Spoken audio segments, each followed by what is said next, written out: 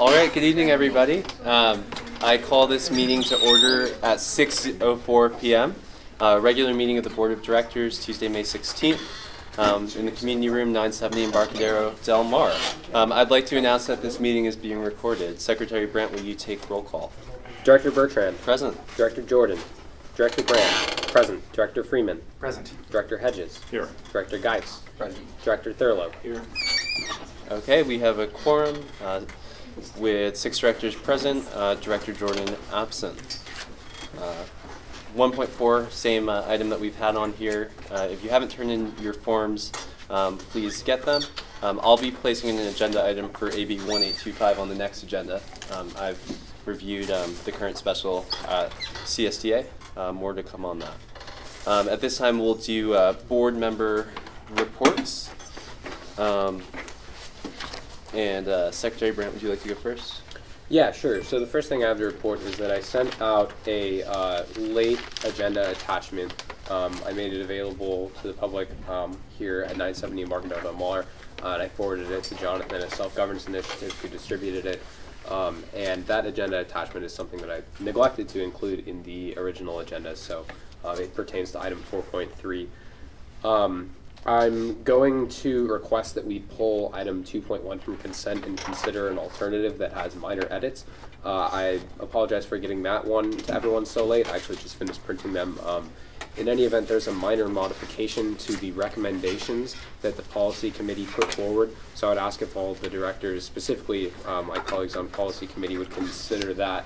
Um, the main change uh, is something that I can talk about within um, the item when it comes up. Um, regarding uh, records of the board, um, I would appreciate if we all make a good faith effort to include all the relevant attachments when um, we are, when forward them to me so that I can send them out with the agenda. Uh, the reason for this is because from time to time, members of the public will want to access these records. They're just board attachments, and I'll be granting all those requests. Um, and so it makes it easier for me if they're uh, in electronic format and they're distributed when the other attachments go out. Um, and likewise, I would appreciate if members of the public who are interested in reviewing Word documents, uh, if you just send me an email, I'm definitely going to send you back the document, um, especially if it's just a board attachment. Um, I've had to fulfill a Public Records Act request re recently, and that's kind of a copious process. So if it's just a you know regular document, then I'd be happy to distribute it to whoever uh, wants that document if you just send me an email. Um, let's see. Uh, I had the opportunity to meet with a number of incoming Associated Student senators and executive, and uh, we've had the opportunity to uh, have some of them here uh, introducing themselves to us. I'm really excited for potential opportunities for collaboration with Associated students. Um, I think the last thing is that I'm becoming increasingly convinced that um, we need to attain some sort of general manager and that that needs to be priority number one for the district. Um, given that the service discussions we're starting to have are starting to evolve and get uh, further along in the process, um, I think that it is really crucial that we have that person. Um, and I think that it's really going to help us overcome some of the uh, sort of struggles that we've had in terms of uh, having to deal with structure and process uh, because we haven't had that point person, that general manager person. Um, and I really think that needs to be our priority going forward. Um, you know, whether it's the financial disclosure issue that we went through with the interns and the question of whether or not interns who normally aren't subject to financial disclosure requirements do have to file. Um, I think that it would be much, I mean, it, we need a general manager. So will that be a future agenda item? That will be a future We'll agenda touch item that I'll be asking for. And that's my report. Thank you. Uh, Director Hedges? Um, Nothing to report other than continued um, conversations out there in the community with uh, uh, people uh, wanting a very general update on um, my continued confidence in the process and uh, uh, I continue, since I continue to have that confidence in the process, uh, that is what I've been outreaching with. And um, you know, stating that I, I think this is a work in progress, but yet it's a work where the progress looks good. Awesome. Director Freeman? The noise that sounds like a dental drill has just stopped. It makes me feel, it was driving me crazy. Um, okay. Oh. um, Forget I bet. yeah, so the uh, um, only thing I would have to report during re- director reports, I'm not certain if it would go here or during public comment. Um, there's somebody who provided a uh, statement for during, like, then spent some time talking to me about their issue during uh, yesterday, and um, I have a letter from them to read. Cool, uh, we'll do that during public Public comment. comment, okay. Any, anything else though? Uh, everything will come up during agenda items again. Thank you. Uh, Director Thurlow? Um, Director Brandt, can you remind us and remind the public what we've decided on for uh, formation committee meetings? I don't Uh, think we can do that during uh, direct, director's reports. Is it just for a scheduling thing? Yeah, totally for, just so that the public knows. Yeah, I Oh, think. I mean, I'd be happy to yeah. say it as a director comment. Yeah. But I don't want, I don't want to be wrong. Oh, okay, okay. No, well, we decided on uh, Mondays. I believe it's the. I'm gonna get it wrong. The second and fourth, I Yes. believe, Mondays. So Um, it's the second and fourth Mondays, Um, and they start at 10 a.m. and they're in this building. That's correct. Okay, thank you. That's all I have. Thank you. Director Geis? As the old guys forget what happened at the Don't- last meeting. tell everybody. Tell everybody we forget. Uh, Just in terms of formation, we did change our meeting date to the second and the fourth. That gives us a little bit more lag time to get our agenda out, just in case uh, this, um, the directors uh, refer something to us, we can get it on our agenda. Um, Another thing that we talked about, just uh, following up on Director Brandt's comments, we had a good discussion about a, uh, Spencer brought an item to the last formation committee. Uh, We decided to work on it a little bit more. Um, My idea, we need to make it more of an independent contractor. I was actually working on that document today to bring back to the formation committee and then to move that, that, that forward. Um, Personally, myself, I'm gonna be gone from the first to the fifteenth of, um, June, so I'll be missing the, the first, the first meeting of the month of the directors, and I'll miss the first meeting of the month of the formation committee.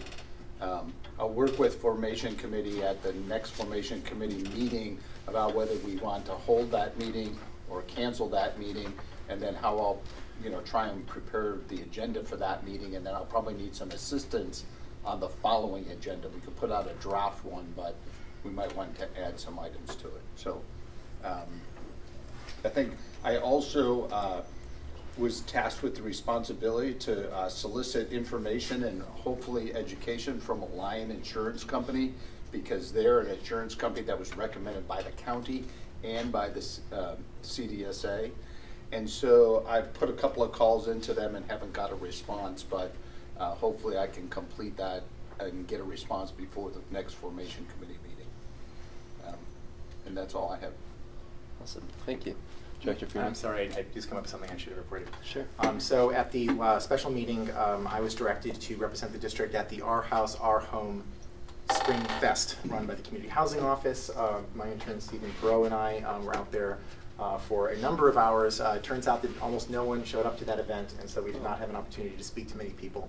Um, we did also provide a um, uh, informational uh, sheet of paper that just provided the list of powers that our district is empowered with in the hope of making people be inspired about things that could happen with the community services district. Um, additionally, uh, at the last meeting, uh, we were directed to collect Form 700s, and so um, Stephen filled out a Form 700, uh, and uh, this weekend we uh, had it turned in on Monday, and signed copies now. Thank you. Cool. Uh, I'll give my report. I uh, have a lot to report, so I wrote it down. But um, so starting off, I've been requested uh, by the Vice Chancellor of Student Affairs to attend um, the follow-up meeting to the sexual assault sit-in um, from May 3rd. The follow-up meeting will take place tomorrow night. Um, and that, for any members of the public who would like to attend, will be at the Humanity and Social Science buildings in room uh, 1174. That'll be with the Chancellor, uh, the Vice Chancellor of Student Affairs, and the student activists who uh, are leading this effort. Um, on May 2nd, I spoke in support of Assembly Bill 722 in Sacramento at the Assembly Local Government Committee. Uh, the bill passed the committee almost unanimously. There was only a one no vote, and it was based on the fact that uh, Assembly Bill 3 bypassed LAFCO, so it wasn't uh, based on anything related to 722. Um, but after uh, the bill passed hearing, um, there have been two uh, floor oppositions registered, uh, one of which by Santa Barbara LAFCO and the other by the California Special Districts Association. Um, from what I've been told, it's not a high priority of CSDA, but they have taken a position of opposition. Um, another thing, on Wednesday, June 14th, from 9 to 3, so all day, there will be a free training put on by CSDA um, entitled The ABCs of the California Public Records Act, the Public Records Act, Records Retention, and the Digital Workplace. It's going to be down in Camarillo, so about an hour away. Um, but I am interested in attending. If anyone else is, definitely it's on my calendar. let me know. Great.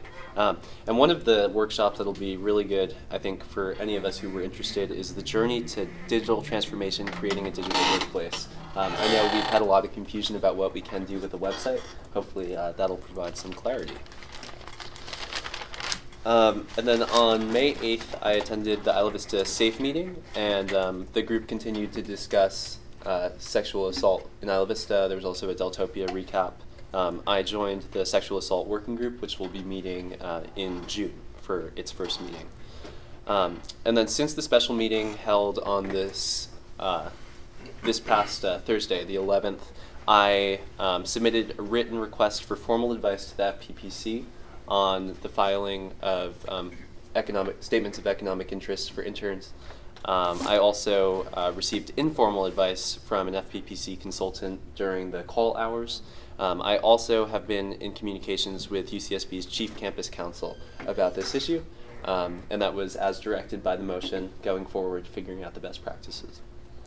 Um, and then lastly, on uh, Saturday night at 1 in the morning, I uh, received a call from uh, someone very close to me, someone who I love very much in this community, um, to hear that they had just been violently assaulted on the 6 7 block of Trigo, someone really close to me.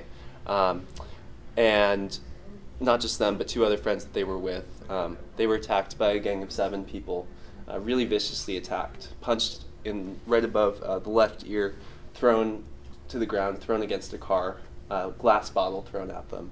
Um, we, I interacted with the Foot Patrol that night and had great response, but this really um, underscores why we're all here and why this district was created, not just to change the overall big picture of Isla Vista, but to prevent so many of these small tragedies that affect the culture here. So I'm uh, honored to serve along with all of you and uh, as committed as ever to our work. So thank you. Um, yes, You mentioned the sit-in follow-up meeting tomorrow Yes. night. Uh, what time is it? 5 p.m. Um, and that concludes uh, board reports unless anyone else has one. No. Okay. Uh, now moving on to uh, the consent agenda. Um, first, uh, since I wasn't here the last time that you guys did uh, do this consent agenda, did you uh, just ask if someone has pulled an item? Yeah, yeah. And I'd like to pull, I'll start off by saying I'd like to pull 2.1. Okay. So 2.1 we will um, uh, consider separately. Um, out of the other uh, items on the consent agenda, I'd like to take off 2.3. Um, that was a typo. Uh, we uh, failed to put the date number there for, for the April meeting. So uh, for that, we'll just have to approve it at the next one. No big deal. Um, anyone else have anything to pull? No. Is there any public comment on any of these items still being considered in the consent agenda? Is there a motion? Uh, motion to approve the balance of the consent agenda. Second. Okay. And let's note that that is without um, item 2.1 and 2.3. Those have been taken off. Um, all those in favor? Aye. Opposed? Any abstentions? Well, I'm actually I'm abstaining for this because I wasn't here for um, for the May second. So that'll uh, the motion passes um, with five ayes, uh, one abstention, one absent, no one uh, voting no. So uh, now at this time we'll go to public comment. Um, at this time, any member. Well, we gotta consider the last item, or the poll item. Oh, we're gonna do that here rather than. Yes, yes, Oh, yes. okay. So um, I can kind of get the ball rolling. So everyone has, I think, a copy of the uh, conflict of interest code recommendation for me that I brought to the board. Um, so it's completely identical to the one that policy committee recommended, with uh, a slight modification, and that is instead of the secretary being designated as the filing officer. Um, now the secretary is acting as the filing official and forwards a copy of each statement to the clerk for recorder, who will be designated as the filing officer. Um, I got in contact with Sheila Hess at County Elections, and uh, what she told me is that um, structuring it in that way would allow us to take advantage of the county's um, electronic filing system, uh, so that we wouldn't have to uh, keep making trips back and down the 101, up another 101 to uh, to turn in those forms. Um, I think it'll be overall a lot more easier for all of us. And uh, I also asked her about what other special districts are doing and if it's common um, for that to be the arrangement. She said yes. Um, particularly, IVRPD has uh, the same sort of designation um, where they have I don't know if it's a secretary or a clerk or someone who's the uh, filing official. They file it to the clerk recorder, or yeah, they file it to the clerk recorder, and then the clerk recorder is the filing officer. Um, so it's basically the county uh, doing a service uh, on our behalf rather than the secretary having to do it. Director Thurlow? Yeah, uh, uh, Mike, I just had a quick question, which is, um, wh- why are we restating the language from the FPPC? Um, In other words, Form seven hundred comes with a- like a fifteen-page document that essentially lays out all of the different categories and what they mean and what the conflicts. So I'm just wondering, why don't we why don't we just reference that document and say that's the district policy? What I worry about in this one is, is this exactly identical to the FPPC? And if it's not exactly identical, then in effect, we're, we're adopting, um, a conflict of interest policy that may be in conflict or may not be lined up with the FPPC's seven hundred document. Director Brandt? So what I'll say is that um, the first thing is that the Political Reform Act requires that we, instead of just adopting something by reference, that we spell out the entire policy in our Okay. policies. Okay. Um, and I think that the reason is so that we are all familiar with the Okay. said policy. Okay. Um, and we do have it adopted by reference right now, but this would overwrite that.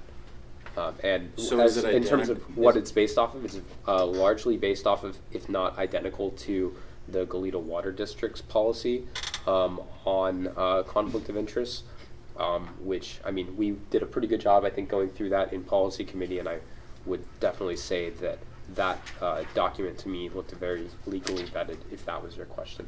No, but go ahead, go ahead. Oh, Director Freeman. So I, I have a different understanding of the history and why we did this. Um, so uh, the computer scientist in me very much would just refer to just refer to it, and that's what we did in the initial stub version of this conflict of interest code. My um, remembrance is that the FPP, the, the, the, the state law on conflict of interest code specifically just states that a reference to the existing law is considered to be a sufficient conflict of interest code in order to have that. Um, we got, um, I will describe it, my personal description, as very strong feedback from Director Geis that we should um, spell it out. And this also falls into, into line with uh, descriptions that we had been given generally um, from Director Jordan about if we, which I agree with, which is that if we provide more information in our policy manual and we make it so that, look, if you just follow our policies, that's like a narrowing of the law. Like if you, if you work within the boundaries of what's in our manual, you are supposed to already be lawful, then you don't have to read all of the law to be lawful. Um, and so then, and so, given the fact that I did agree with that feedback, we then took Director Geis's um, policy uh, suggestions, which he provided as public record at our last meeting to policy committee, went through them in detail, made my, only minor edits to them, and put them in our policy. So. Yes. And So, Director Brandt? What, what I would just say, like, well, that's a completely good practice, and that's what we try to do as the policy committee. The reason that we brought this is because we are required to have a specific policy that uh, does three things: that it designates positions, that it um, uh, establishes disclosure categories, and that it incorporates um, government code section. Uh, or the Code of Regulations, Section 18730, which are the three things that are required by law that we have in a conflict of interest code. This is information that was given to me by Sheila Hess at the clerk recorder's office. Director Geis, did you have I, something? I, I just think it's a much more understandable document of what we're trying to accomplish. And you start reading all those regulations and it's really difficult. You know, I had that concern with the interns having to read all those regulations and go, what are we doing? Because I used to say that, you know, when I was the elected auditor for a long time, said, what is all this stuff? Um, So I only have one comment on the document itself. On the designated positions, I'm not sure if we have to state any designated positions that we haven't as of yet established. So if we haven't established a general manager, when Sheila Hess gets this and it goes into her electronic system, she's gonna be sending dun notices to somebody that you haven't filed. You know, and you, you need to file your statement of economic interest. And if there is no general manager position, I don't think it needs to get listed until we actually have a general manager position. And so then if we get an indi, if we go the route of having an independent contractor be our acting general manager, I'm not sure that they would file under our conflict of interest code. I think they'd go towards that consultant conflict of interest code, all the discussion we had last week. So I'm not so sure that if we go that direction on the general manager and our attorney, that they need to be on this list. And then the same goes with the treasurer. Since we don't have an employee as our treasurer and the county treasurer already files his conflict of interest, I don't think, I'm not so sure he has to be on here. And then I don't know if we have to be redundant with the secretary since the secretary is just a title for the, for the director. So it seems to me that the designated positions so far are just our seven directors. Um, But I, I don't know, I tried, I don't know what Sheila would say to that. Director Brown? Well, no, I think, I think that's a really good question, because as you're saying that, I'm thinking that that quite likely is the case. After the conversation that I had with her, I didn't really like dig deep to try to figure Yeah. that out, because it didn't spark my interest at the time, but if everyone else is comfortable with it, um, I would move that we send this back to policy committee. Yeah, I would do, yeah. I'm comfortable with that. All right, is, uh, do we want a second for that? Or do we just want to Um, open that back up in policy committee? We're just moving just this, I just want to be clear that we're not moving the entire two point one, we're moving two point one B conflict of interest back to policy committee. We're, we're just considering the policy in policy committee, or the draft policy that we have right now and making edits to it. No, I'm, I'm, I'm just, just, just, just point of clarification that we're separating out two point one A, which is amend policy entitled rules of order, we're. Oh, yes, that is we- correct, We, we yeah. have multiple policies, Yeah. was wondering, are we? Okay, well, I'll, I'll move to uh, approve um, the policy entitled Rules of, Rules of Order as stated in attachment A. Is there a se- second? second. Okay, um, can we make that to, um, amend the policy entitled? Friendly, yes, my bad. Okay. Uh, any public comment? Any Oh, more? Arguably, board actually, the comment? public comment that uh, I received yesterday is about this new wording. He intended to be about this new wording, but it's actually about the, the other wording. It's about this sentence that we're, mo- that we're amending, but it is about something that was already in the sentence before. Do you want it now or during public comment? Let's, um, let's do it during public comment. Okay. Yes, thank you. You gonna say something? Discussion? Yeah. Um, so the only thing I, the only reassurance I need is that when it comes back, that, that the policy committee can assure us all that, that this, that we haven't broadened the FPPC conflict, either intentionally or unintentionally somehow broadened it, so that this policy, um, is different from the FPPCs, because that's gonna lead to a lot of confusion. So if you, if, if you can just give that assurance, and then I'll call for the question. Awesome. That sounds good. And then Call for the just. question since that's now the new policy. right? Yes, and I'll just remind, uh, we're voting to amend the policy entitled Rules of Order to read as stated in attachment A. All those in favor? Aye. Aye. Opposed? Any abstentions? So ordered. So I was Um, that's on the wrong six oh with uh, Director Jordan absent. Okay. Thank you. And I don't know, if do, do we need a motion to move the, to, to reconsider the conflict of interest policies? I think we can just ask the chair to put it on the agenda. I'm happy to put it on the agenda. Thank you. All right, uh, any other discussion in this two point one? Okay, with that, we're moving on to public comment period. At this time, any member of the public may speak on matters within the subject jurisdiction of the Board of Directors that are not on the agenda. The Board will not take any will not take action on any item on the agenda except as provided by law. Um, anyone wishes, wishing to speak, please, if you're able to come up to this uh, podium, and uh, you can speak for up to four minutes.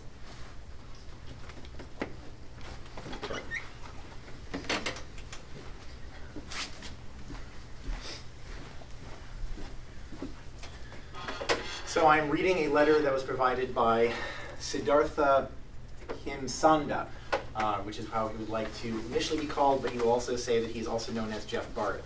Founder, Resistance Press Association, formerly known as Resistance Cafe.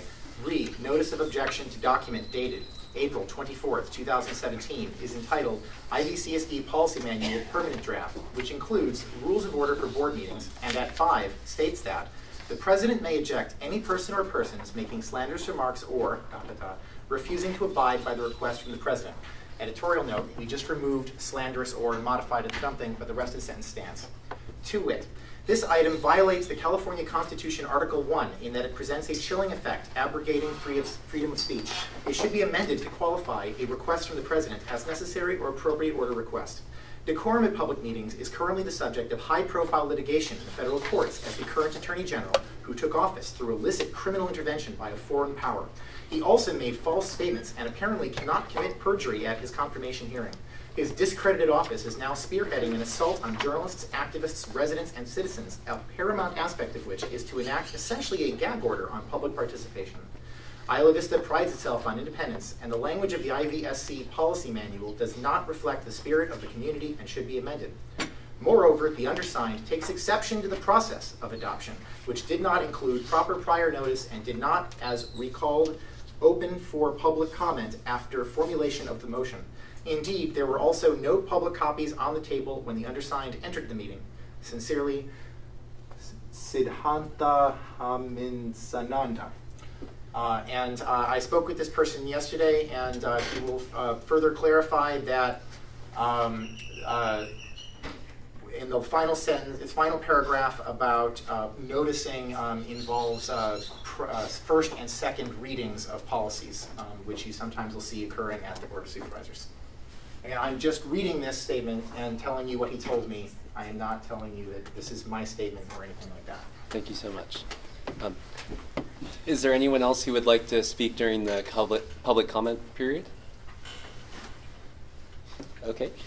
Seeing none, we are going to move to discussion and action items. Um, to start off, we have num- number uh, 4.1 acknowledge the events of May 23, 2014. The Board of Directors will discuss and acknowledge the upcoming anniversary of the 2014 Isla Vista tragedy, the legacy of the victims, and the rel- resiliency of the Isla Vista community in the aftermath of tragedy. Um, I guess I'll start with this. Um, this year, we're going to have another uh, anniversary of this horrific incident that will forever be a part of our community's history, that will forever be a part of what's what Isla Vista is and what it has been. Um, and we can never forget the victims who, who passed in this attack, all those who have been affected, um, the families of the victims, the neighbors, the classmates, the professors. Um, this is something that's shook our community to its core, something that many of us who have arrived afterwards cannot even begin to understand, but something that, even though we can't understand that, I think we are so impassioned in the work that we do, so impassioned to make this a safer community, so impassioned to prevent things like this from happening again. Um, there's not a day that goes by uh, in this position that I don't think about what's happened here. There's not a day that goes by since I've lived in Isla Vista that I haven't thought about this. And um, and it's it's awful that that is a memory for us, but um, it's amazing that as a community we've stayed so strong. It's amazing that as a community we've formed this self-governing body, um, and it's amazing as a community to see the great days that are ahead. Uh, would anyone else uh, like to make a statement? Director Hedges. Um, The morning after, um, when I was interviewed by a, an NPR reporter, I was asked um, whether this brought up memories of the, the 23 February 2001 incident uh, in which four were killed um, on those same streets. Um, and um, the, the one who survived that attack uh, passed away just a few weeks ago. Um, uh, after uh, uh, struggles with the injuries that he received that night. Um, My response to when I was asked whether um, 23 May uh, 2014 brought up those memories, I said, no, they're always with me. And um, not only, you know, it's, it's, it's another one that has been added to a lot of memories that we have in Isla Vista, from which, um, to steal Abraham Lincoln's phrase, as I'm fond of doing from time to time, um, from, from these deaths we take increased devotion. And um, uh, in many ways, uh, those deaths uh, drove us to this day, drove us to the election, uh, drove us to sitting here at this table. And um, we should not forget them because they are in many ways what brought us to this place. And we must, uh, we must do better. And um, we will do better. And um, the more committed we are uh, to holding those memories, and that's not morbid or anything. That's actually, uh, it's just part of the life that we've been given in this place. Uh, we will not forget. Director Freeman? In many ways, uh, this incident is the reason why I got into politics. Um, I was on Pardall Road that in, for four hours that day, and it was only because I'm on a weird nocturnal schedule that I and my friend both computer people went home in order to take a nap in the like in the middle of the day. And less than an hour later is when the shooting occurred right there on Pardall. Um, the um, I then went to a meeting of the Public Safety Committee uh, in order to talk with other people about what had ended up occurring uh, and get dragged into a long conversation then with uh, um, Cameron Shunk and um, uh, Josh Plockay, which then turned into a meeting of students for Safe Isla Vista, which then caused me to get involved in meetings that occurred with Jonathan Abboud and Cameron and uh, at the uh, food co-op, and this kind of things kept snowballing until now here I am on a board of a special district looking at public safety issues here in Isla Vista. Um, I uh, ended up getting involved in the, um, so when Kim Yasuda, professor of art, um, started working uh, on uh, an activity called Blue Night, um, which was uh, a memorial here in Isla Vista. And, and that's just something I just wanted to kind of bring up then related to this, which, um, so Father John had just stated here about remembering and the, and one of the students were actually told um, that they should maybe skip the memorial this year um, by some of the people in the university. And I just, um, that did, did not work for me. Um, but I, um, yeah, so this is, this is something that is, uh, well, uh, so I, I, I, I honestly did not, I did not know the people, um, but one of my very close colleagues, uh, uh, lecturer Phil Conrad, um, who's uh, there are other students in the audience today, um, four of the people were students of his, uh, and so just oftentimes uh, interfacing with, with Phil on this is just it's it's very, yeah, and that's all I have to say. Well, I, I can say from my personal experience, um, this was before my time. I was a junior in high school. Um, I still remember finding out about the tragedy. Um, I found out about it in a very millennial fashion. I was scrolling through my Twitter timeline, and I soon figured out that the timeline was filled with this hashtag Yes All Women, um, and I did some digging to try to figure out what it was about, um, and just finding out the reason, the the impetus for this hashtag was just shocking and gross to read. Um, I think that like first impression still kind of uh, colors the way that I think about this issue, um, because in a lot of ways, I don't know. For me, it, it, it's difficult to to to separate both the the tragedy and, of the events and just the horrific nature uh, that uh, the horrific thing that brought someone to that point to do that. Um, yeah, I've like I think everyone sitting up here, we've all heard stories of people who were here, people who were close to it, uh, people who were, clo- close to those who have passed, um, and while it doesn't touch me on that same personal level that I think it touches uh, a lot of you, both in the, room uh, and sitting up here on the board, it it really is something that um, it, it means a, a lot to me. Um, I think speaking for my generation of students, um, second year students, uh, first year students, even the third years now, in a lot of cases, um, they they weren't here for these events, um, and in a lot of ways, they, they haven't seen what it's like when Pandora's box really opens uh, in that sort of an instant, just like that. Um, I take it upon myself, and I think it should be upon all of us to remember um, to remind people that um, you know things can go very bad uh, in just a in, in an instant like that. Um, it's us up to us to remember why we're here. Um, in a lot of ways, the, these events, the horrific events of that entire year, are why we're here. Um, and uh, you know, I, I really think it's our duty to continue to further public safety for that reason. Um, I really think that um, the six would want that, um, and uh, I feel that it's good to read their names too. Um, Katie, Veronica, George, James, David, and Christopher in their memory.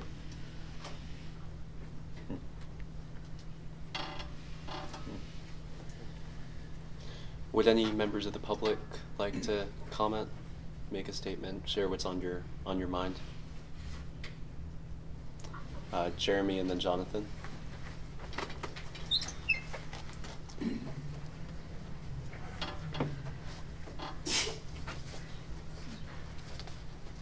My name is um, Jeremy Rourke. I'm a, a psychologist. Um, I was actually working at UCSB at the time of the tragedy and um, learned of it about, I believe it was 6 a.m. the next morning.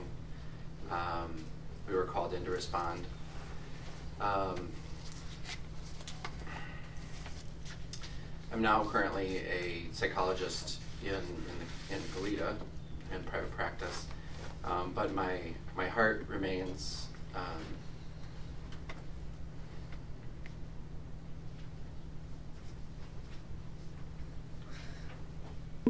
very tied to uh, what happened and to Isla Vista. And um, I hope that this board will um,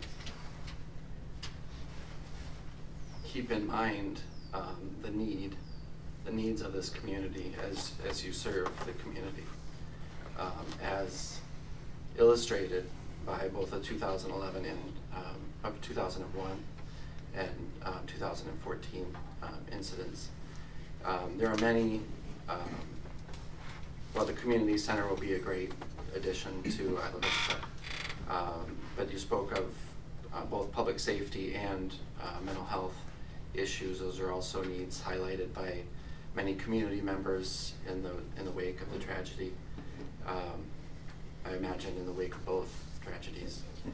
Um, so while there are many um, nonprofit counseling centers in um, Santa Barbara City, um, there are, there are none. Historically, there has been in this building, in fact, uh, a nonprofit counseling center available to all members of the community, um, but there are none currently.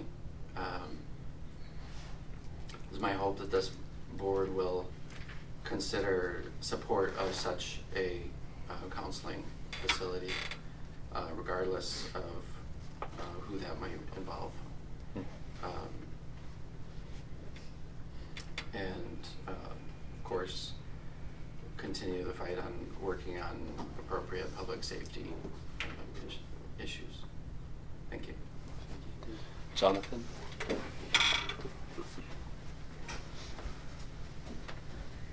I'll just keep it brief. I talked about this at the inaugural meeting, but uh, I'm really appreciative of the board for taking action on this. You know, this was uh, three years ago, so like May 17, 2014. No one thought we'd be here today. So this event changed Isla Vista permanently, I think, and affected a lot of people who've lived here, people who did it did at the time and do now and did before. So, you know, me personally, like that on that night, I remember just all the phone calls and no, no one had no any idea what was going on, it was chaotic here. Uh, but I'm glad. I mean, it's it's incredible where we've come since then. It's night and day difference. It's not the same Isla Vista, uh, and how things are handled here, how people view IV. Like we, the community really did a good job of responding and coming together. So, thank you for memorializing this as a CSD because, as we all said, this board exists almost directly from that event. So. Thank you. Darcel.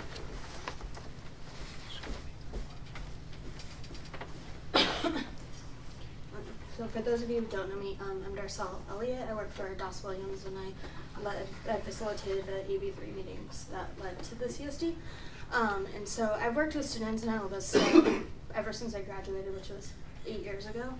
Um, but um, 2014 was the was the worst year for me to be a mentor to UCSB students, just in terms of the stress on me of the amount of times I had to call students that I was working with and asking them if they were okay, you know, during the riot or sexual assaults that were happening or um, what, what have you. Um, and I remember on May 23rd, um, one of my the students that I work with called me to tell me there was a drive-by shooting, and I had no idea the gravity of the situation, obviously.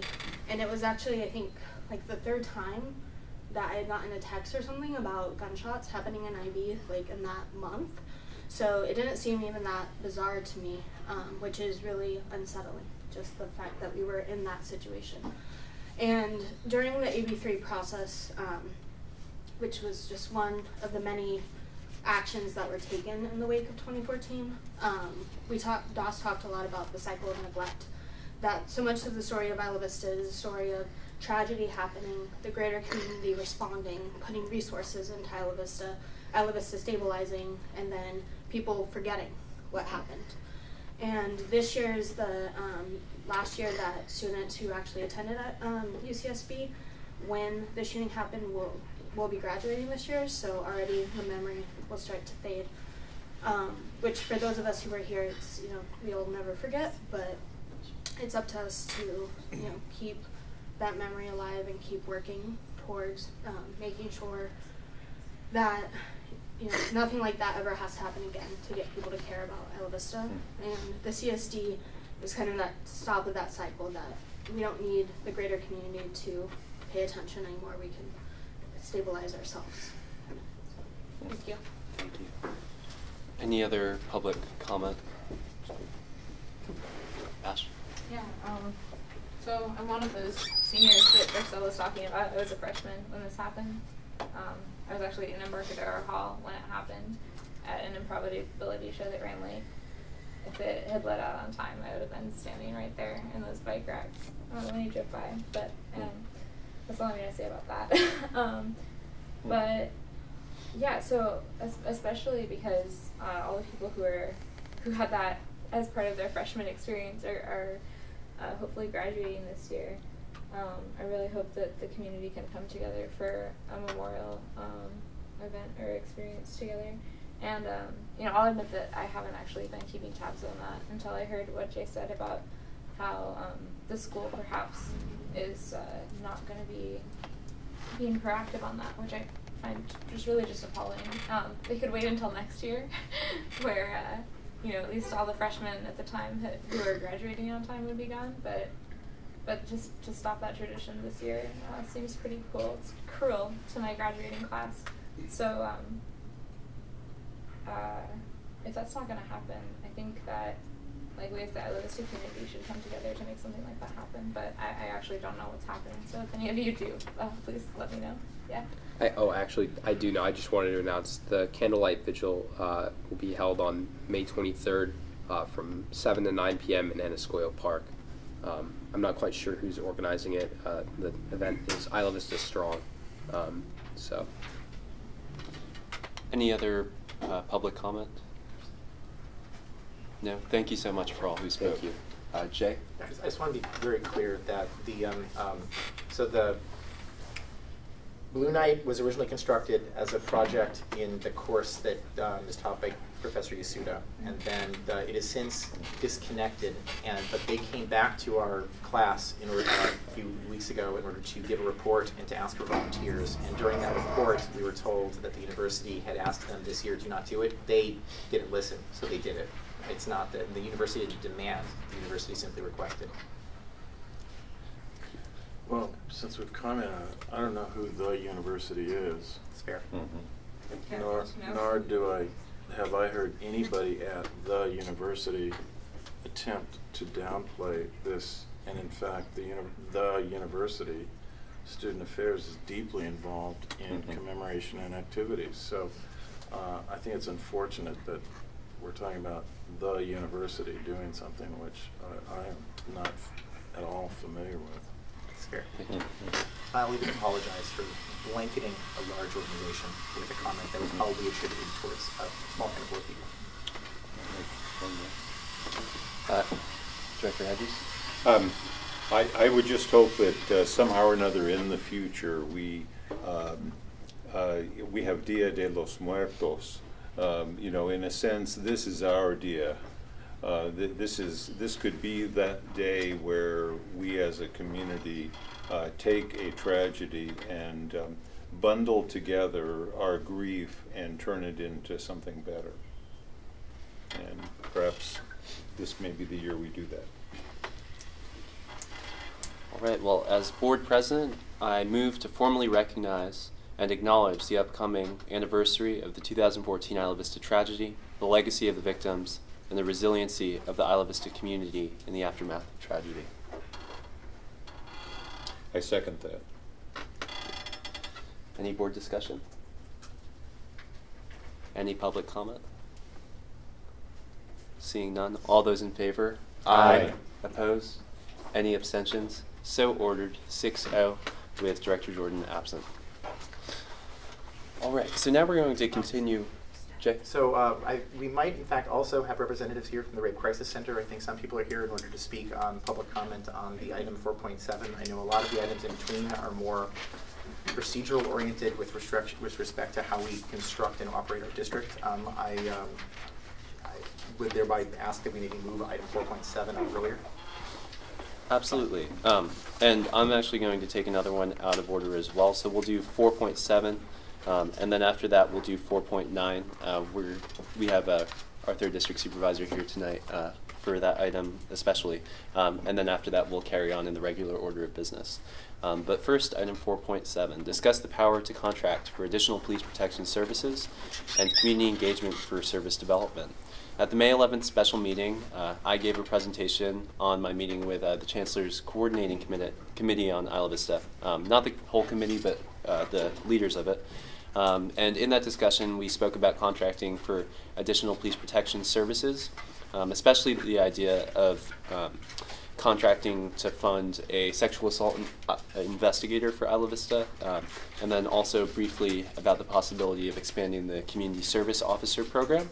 Um, at the May 11th special meeting, uh, we decided to bring this back onto this agenda um, to talk about putting together a public safety town hall. A with the idea that it would be a way for us to engage with the larger community um, at this crucial time where we are beginning our discussions with the university to move forward on providing a service that this very, very much may end up being. Um, so with that, um, are there members of the board who would like to to comment on anything in particular related to um, planning an event? Um, Director Freeman. So, um, the, provide some, some, what's the word for, context. Um, yes, so there was, um, uh, we've begun our discussion with the university now on what the money that they pledged us, pledged to us will be used for. And so Ethan has provided an attachment with the um, short list of items, uh, and he has on there a the sexual assault detective, um, which was something that I actually had a kind of question about. Is that something that the um, CCCIV came up with, or is that something that the CCCIV came up with, um, or the UCPD came up with and brought to CCCIV? I that believe it was that one. Uh, Okay. The UCPD came up with it and brought it to the committee. Okay. Um, so I was at the, um, uh, the Title IX sit-in for, uh, so a few of the hours at the, the end of it, from like 1.30 in the morning until four in the morning when the chancellor signed the set of demands. Um, I had an opportunity now to speak with uh, Alejandra, who was the person who brought these demands for, uh, forward a couple years ago. Um, I've spoken with um, Paula, who was the person who did the facilitation at this prior meeting. Um, I have uh, uh, had an opportunity to talk with somebody from the uh, Rape Crisis Center, um, who was uh, actually in Isla Vista. They were sponsoring the juggling festival this last weekend. Um, about about the, uh, the the wording of this and things that we should be we should be thinking that are take careful on this. And and one of the things is um, also we should make certain that everyone is involved. And so that then came. We, there was a special meeting of the um, of our district where we had presented this information from the um, uh, from the CCCIV, uh, and then I, I brought the idea of having a town hall.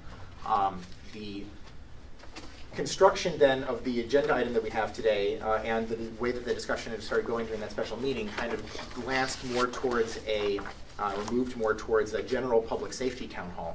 Um, but I've now um, been talking with, the, with talking with these people about um, uh, is that the right approach? Um, and so I also, there was one more meeting I had. Um, I um, was uh, uh, on the agenda of the uh, Student Activist Network's core committee, core something or other, I've forgotten the term uh, for it, uh, last night, uh, and asking everybody for feedback on, uh, on the stru- structure of such a town hall.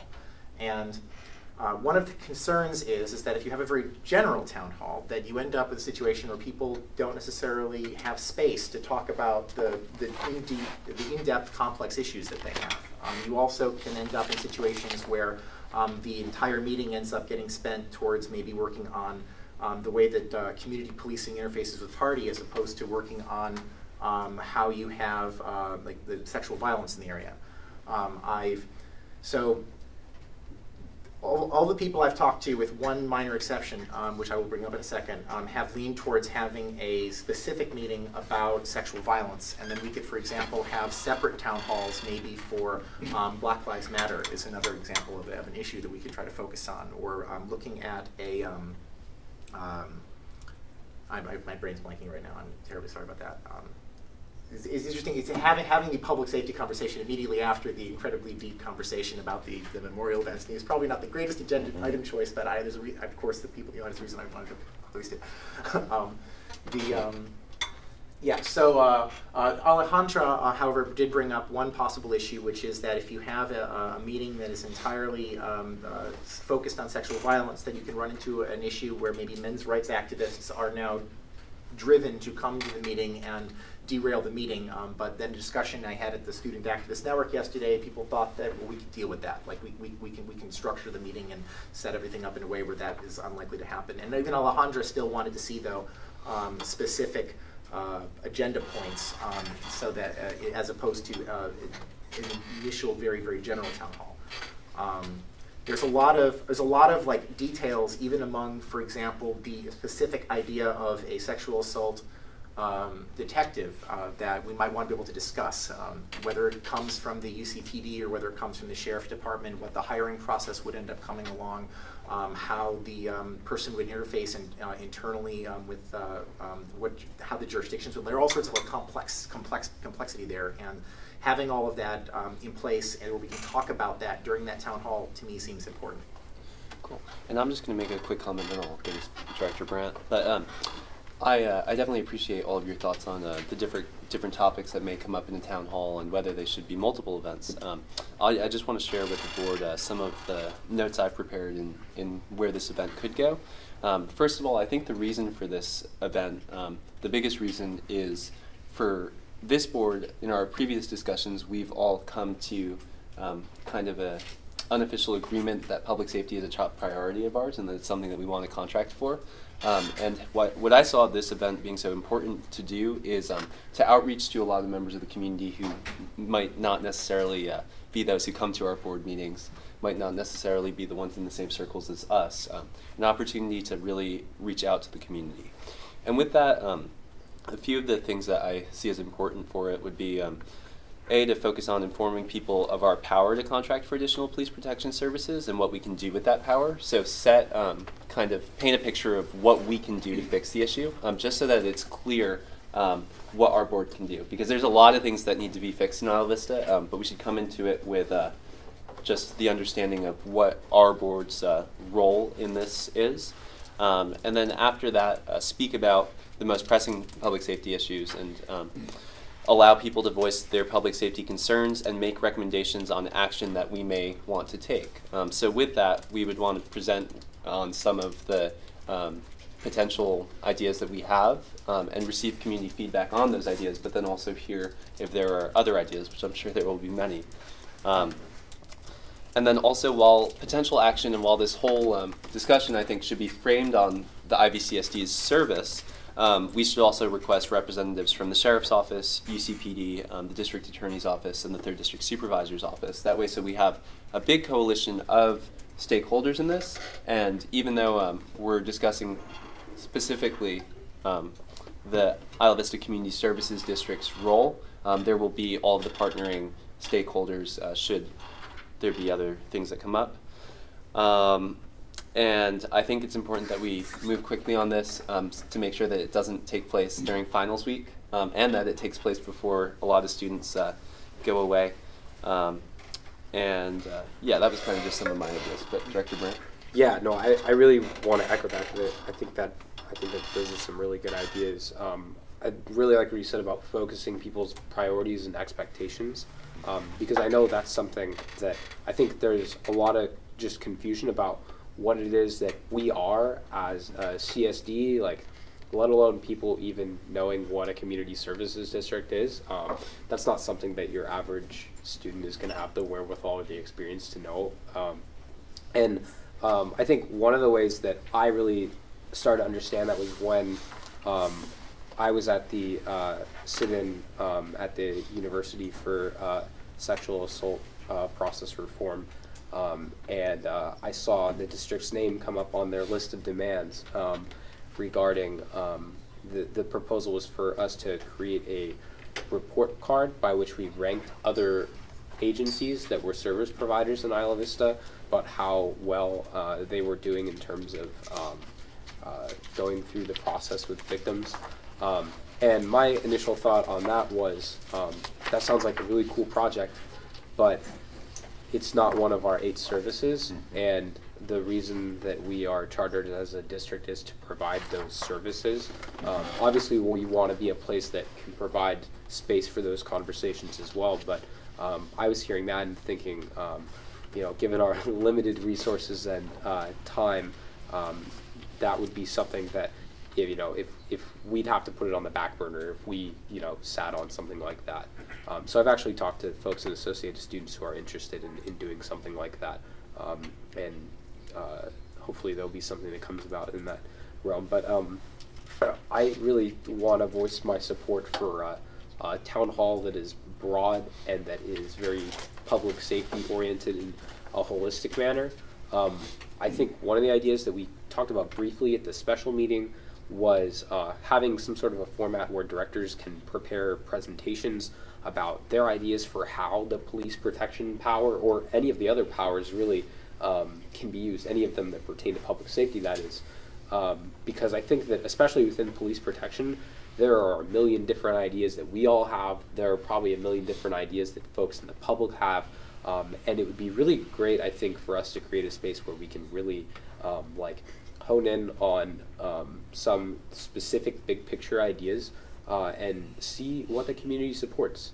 Uh, because this would be our first kind of town hall ish sort of event.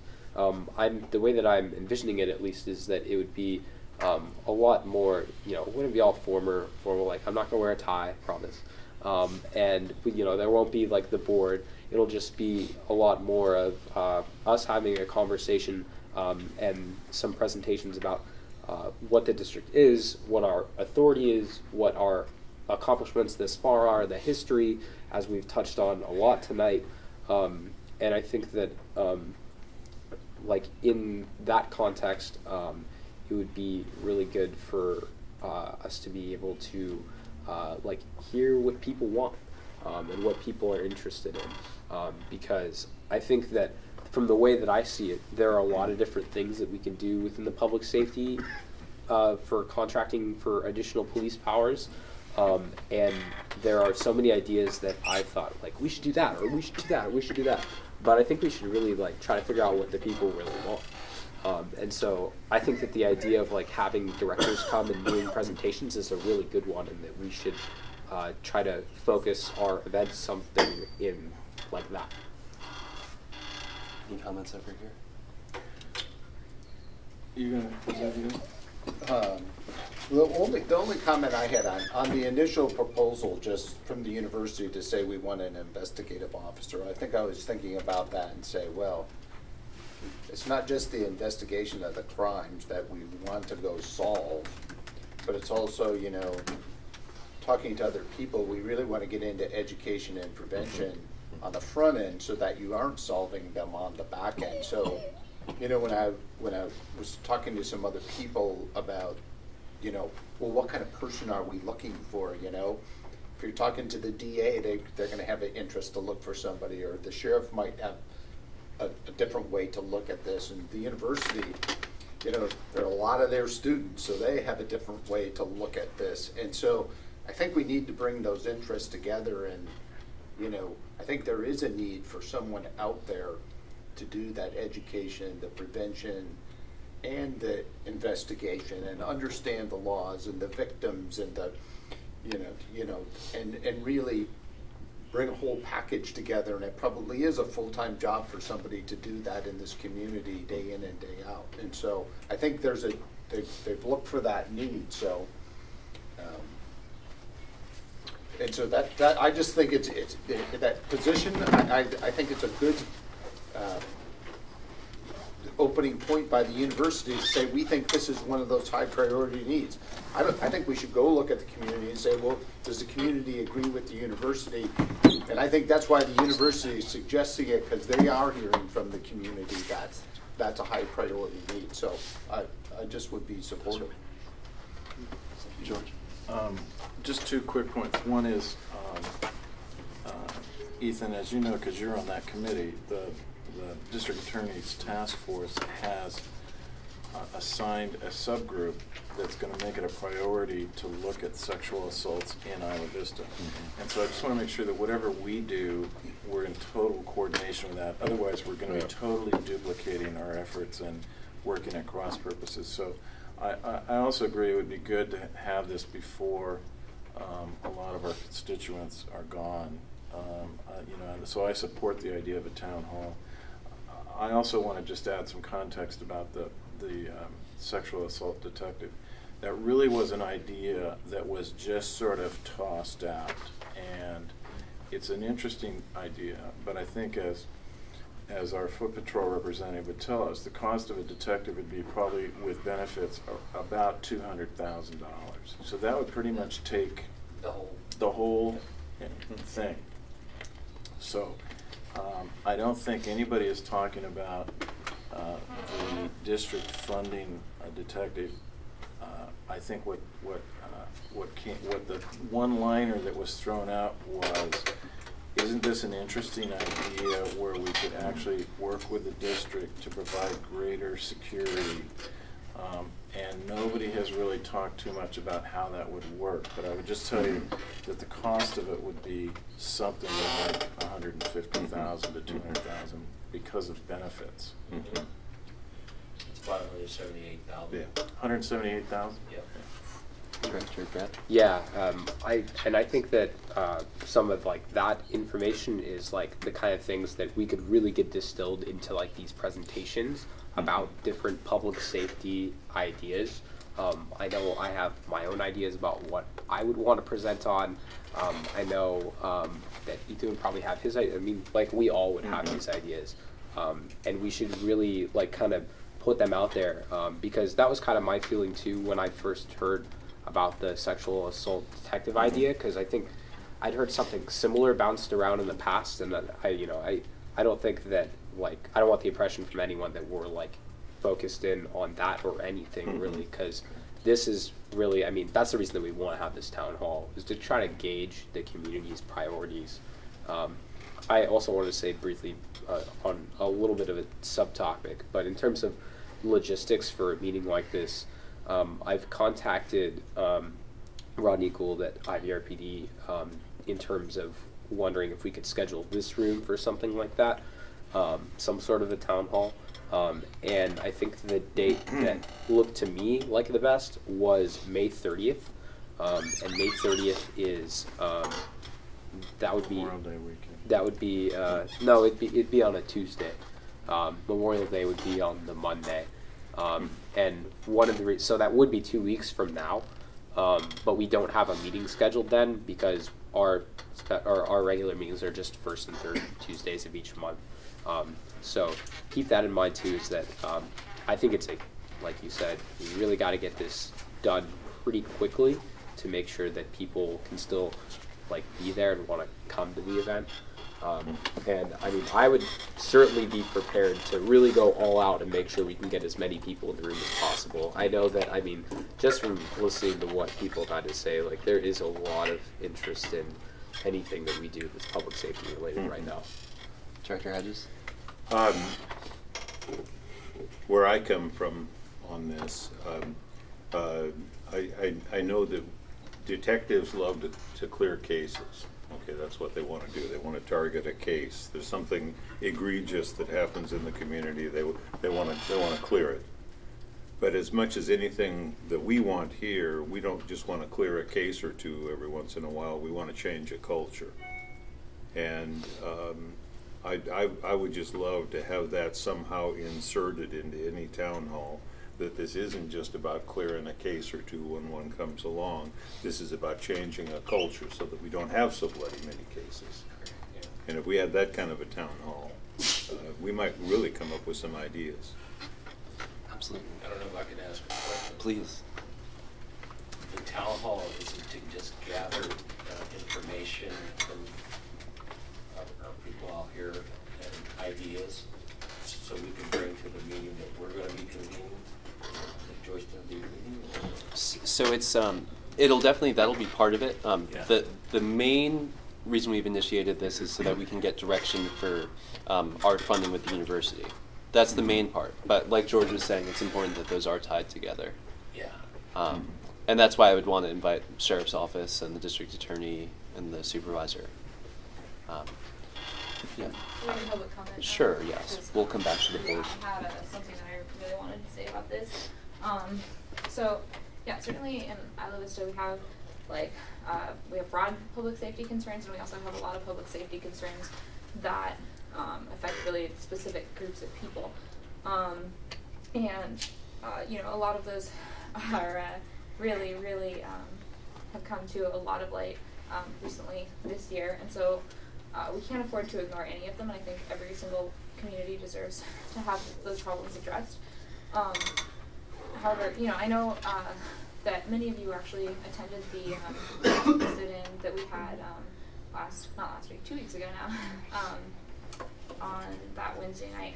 Um, and I want to remind you that, you know, even though that, that was for one very specific topic, it lasted I think about eight or ten hours. Uh, I know I got there at 10 p.m. and I didn't leave until about five in the morning.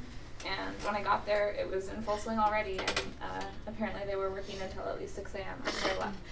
Um, and that was uh, really to to address a very like narrow set of issues. You know, it takes that much time uh, when you have uh, like a specific community um, who's come together and like a, you know there's going to be a lot of individuals who are going to want to share their personal stories um, with um, with our representatives and our, our agencies who have the power to actually do something about this.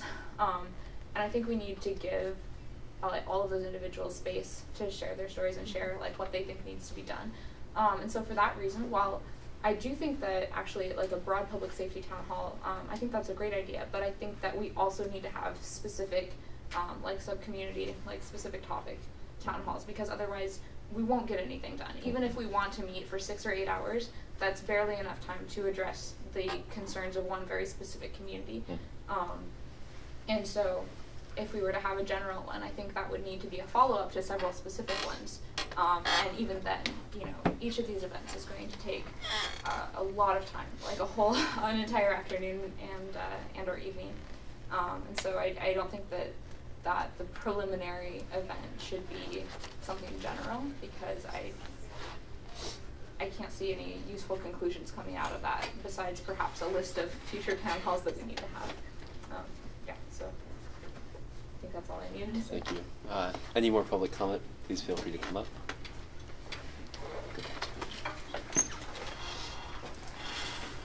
So just to oops, throw another um, potential format into the mix.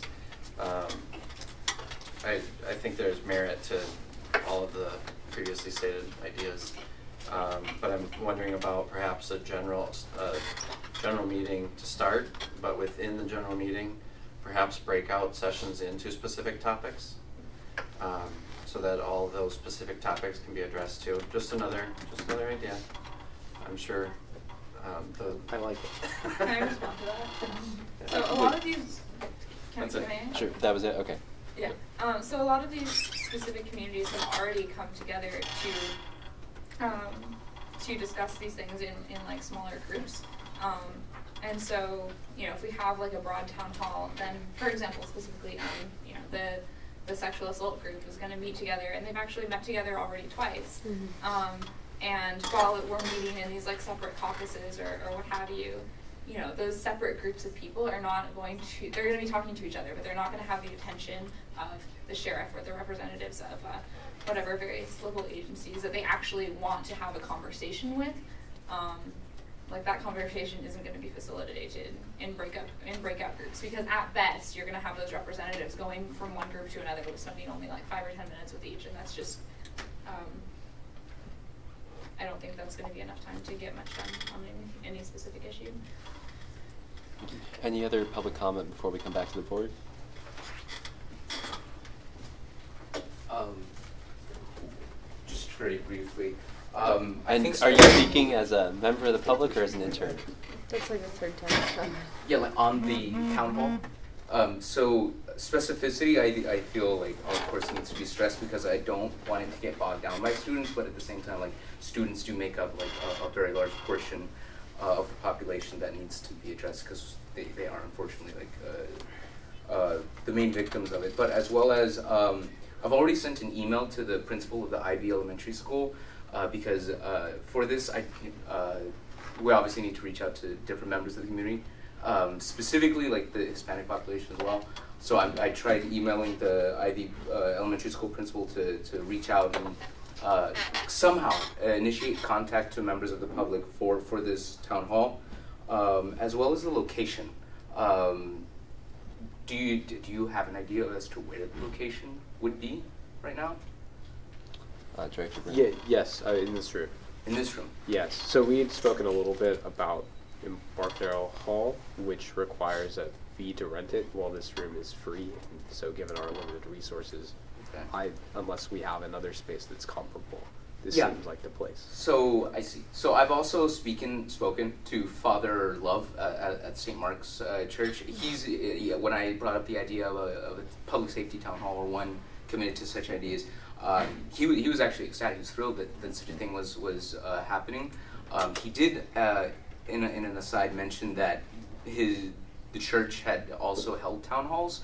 Um, so one, given the fact that town halls have, have been held in St. Mark's. Two, given his enthusiasm for such a town hall, um, I think that if, if need be for a bigger venue, um, we could reach out to, to potentially him, um, uh, maybe even, um, if all goes well, the IV Elementary School, perhaps using an auditorium over there um, to facilitate a larger audience. Um, yeah, that's it. But no, no matter what, like I think it's a great idea. Uh, but it should be it should get done soon since we are in the term is spring week seven already. Um, things are getting going really really fast for students as of right now. Um, so that's really it. Thank you. Thank you. Hi, good afternoon, everyone. My name is Adalia Gomez, and I'm here from Santa Barbara Rape Crisis Center. And just wanted um, to mention a couple of points um, regarding the meeting. Um, absolutely agree that it's important to uh, engage other members of the community. Um, through Santa Barbara Rape Crisis Center, over the last couple years, we've uh, increased our efforts to provide rape prevention education and awareness to members of the community that are not connected to the university because we know oftentimes they don't um, get the same resources. So we've definitely um, increased our efforts to, to bring awareness um, to those sections of the community. So I think um, a larger um, uh, room might be a, a great idea since you might be expecting uh, quite a few people. Um, I liked um, that it was mentioned uh, regarding sexual assault that we need to see a change in the culture, and I think that's one of the primary efforts that we would like to see happen through the Rape Crisis Center. Oftentimes, um, funding uh, is it, it's sent towards intervention after an incident happens. So most of the funding that we get is to work with sexual assault survivors, which is extremely important. Uh, but oftentimes the prevention and changing that culture gets set aside. Um, so I do want to um, agree with the importance of bringing that education. We've had a couple public events here in Isla Vista to do that, and we hope to continue to bring them here in the community. Um, the other um, item regarding the meeting I wanted to mention, Ethan and I have attended the IV uh, safe meetings at the DAs, and I know the first meeting we had where sexual assault was brought up, we did have to cut the conversation short, and it did have to get moved to an entirely separate meeting. So just keep that in mind because we have seen it happen in other meetings that the discussion just is goes very much um, in, in depth, and a lot of issues arise. Um, so be prepared to possibly host a separate meeting outside of the general one to focus on the sexual assault issues. Uh, regarding the investigator, I know that Elsa um, and Mr. Freeman spoke uh, recently, and we fully support that. If any of you have any questions about how we work with survivors of sexual assault and um, um, Isla Vista Foot Patrol can share some of that. It's it's a lot of work that they put into it, and it's something that I I think would be important, um, and uh, we can have conversations about the impact that that has on law enforcement and the benefits that it would have for sexual assault survivors. Uh, so I'm here. If anyone has any questions, uh, reach out. Thank you so Thank much. you. Jonathan. Uh, the IV Self-Governance Initiative will help do a lot of outreach for this whenever it ends up being the town hall. Awesome. Thank you. Um, Jeff.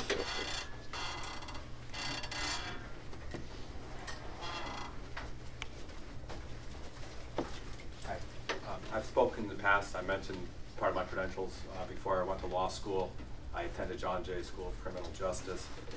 Uh, I also became very interested in uh, the uh, forensic aspect of international human rights protection. I went down to Guatemala at the height of the Civil War and got involved with the Human Rights Commission, uh, prosecution uh, that came out of that. I got to meet and hang out with some of the lead attorneys on that.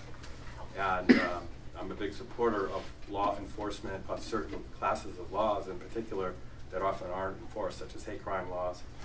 And, um, you know, uh, I've been observing, but I, I was not going to comment, but I didn't want to be conspicuous with my silence. And I've, I have some views and opinions, but I'm actually keeping them to myself because, as I told you previously, I am in the process of transforming my role as a uh, public, my public persona, uh, from being a long-term advocate, where I spoke at the board of supervisors for years.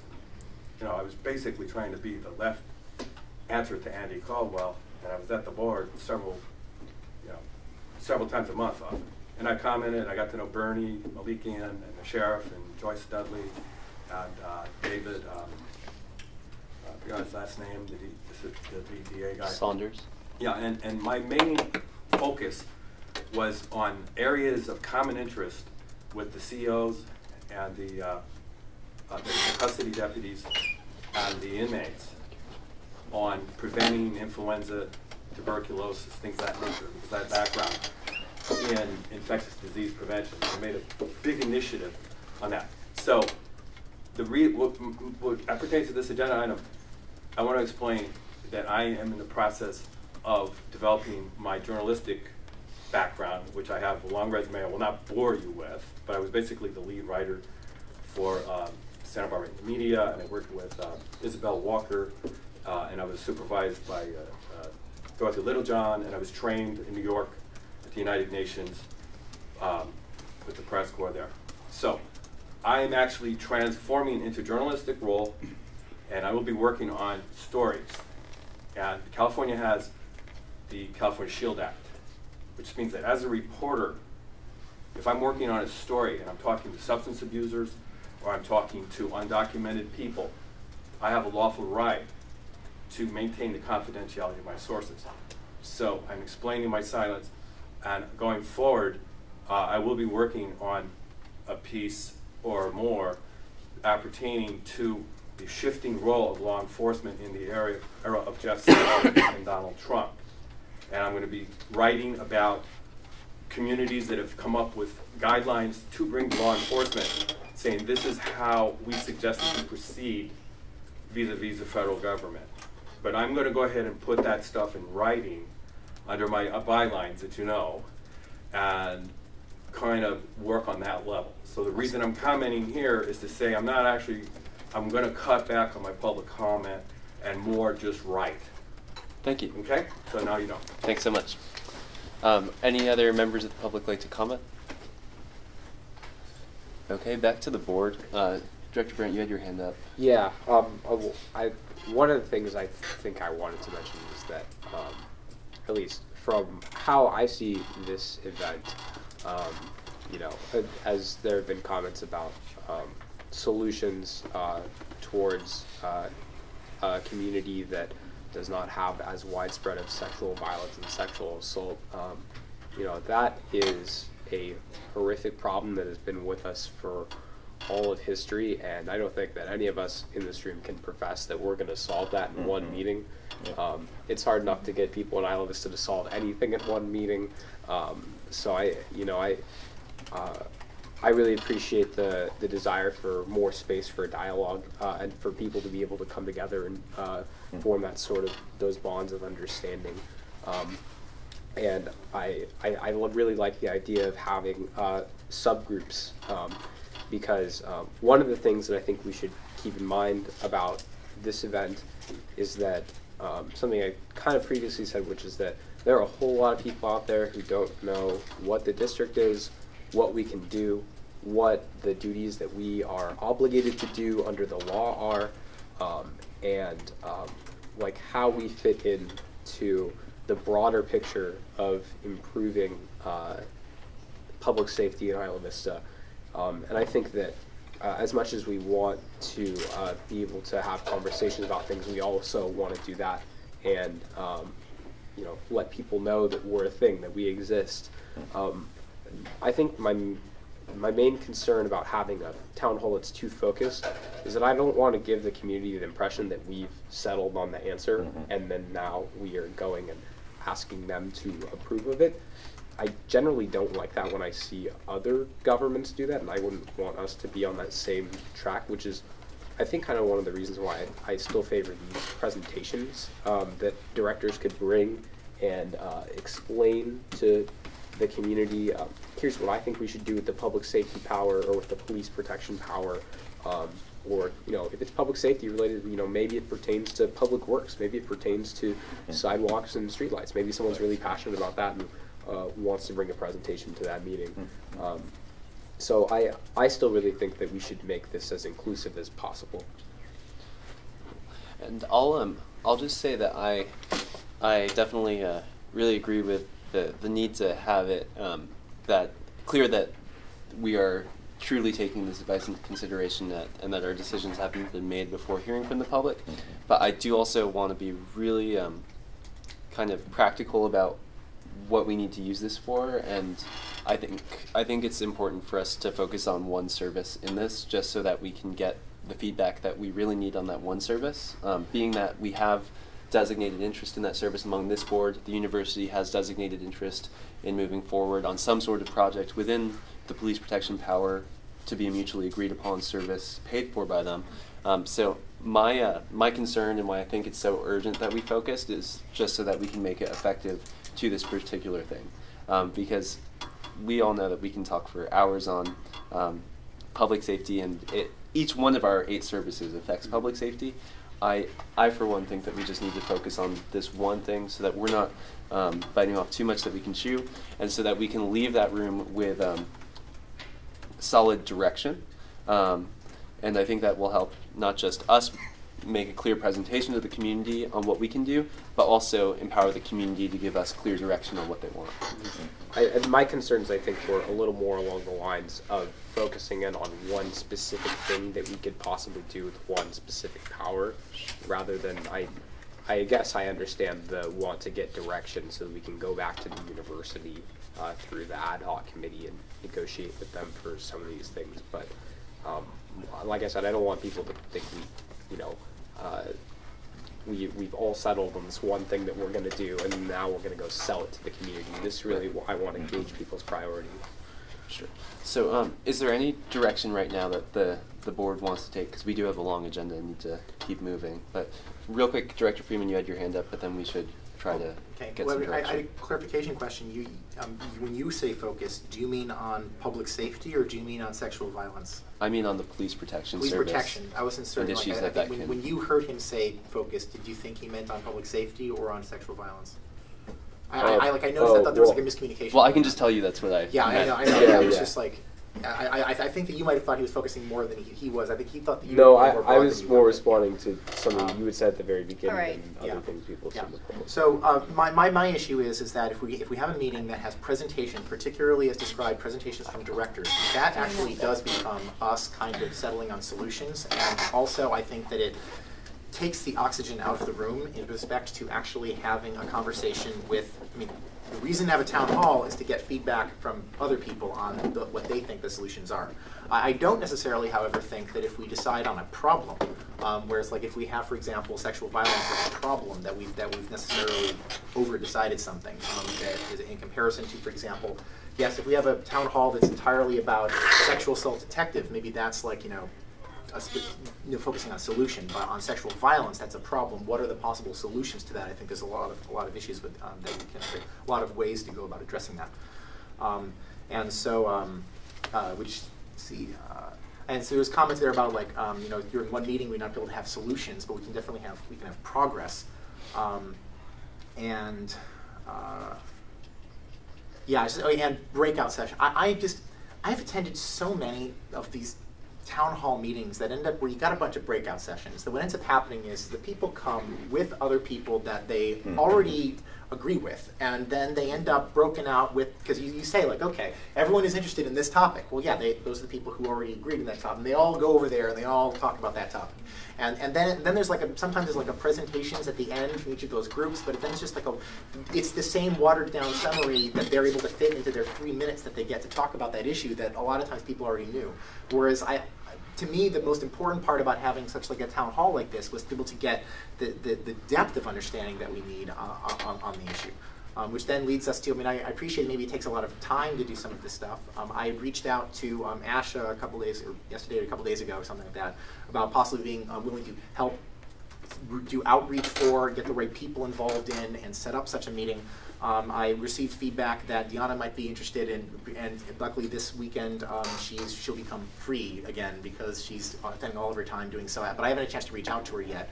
Um, I've, but I've heard really strong feedback that her public, um, her town halls have been some of the best town halls that have existed on a lot of these topics. Um, so I would love to be able to get her input and, and help with some of these things. Um, but I, I just, I'm, I'm just, I'm just really concerned about the idea that we're going to end up with, with, with something where it's like an informational session where we spend a half hour teaching people that CSD exists and we have power, and then we have each of us provides the ideas that we've been talking about for a while about different ideas that we have for what to do, and then we have a few breakout sessions, um, and then, and then I just, I just don't think it would be useful. Thank you, Director Jordan. I think the whole idea of a town hall is that we let everybody else talk. So let's just decide that we're gonna have one. If it gets consumed by one topic or another, let's decide to have another. If it doesn't, let's just go with the most prolific idea that we move with. But I think more to the point is that like it's just more of the idea that it just needs to happen and we need to get it started, less about like the actual organization of it. I think that doing outreach to specific communities is really important.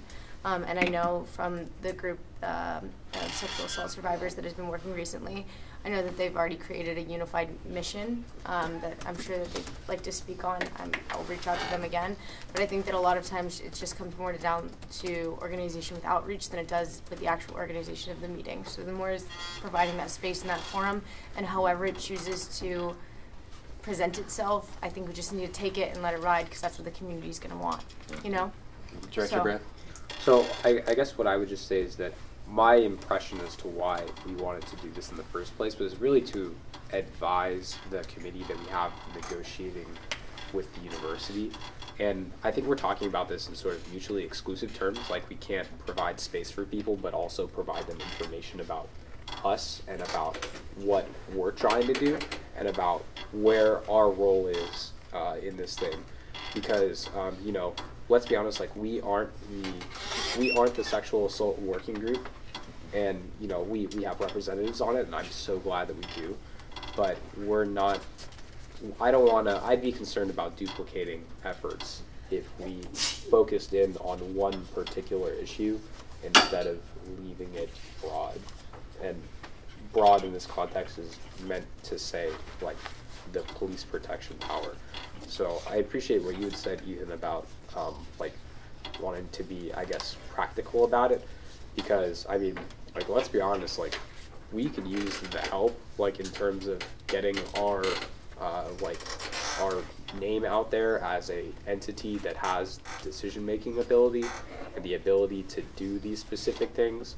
Um, because, like I said at the beginning, I think that there is a misconception of what exactly the district is, and I think that was based off of the fact that um, we we talk about uh, self governance, and you know I'm a huge fan of self governance, but at the end of the day, I think that it creates the impression in people's mind that like we're responsible for everything that goes on in between the university um, and Coal Oil Point. So I, I, I really think that um, that learning aspect I think is really valuable uh, because I have conversations with people all the time who are super interested, um, but they just don't know the specifics.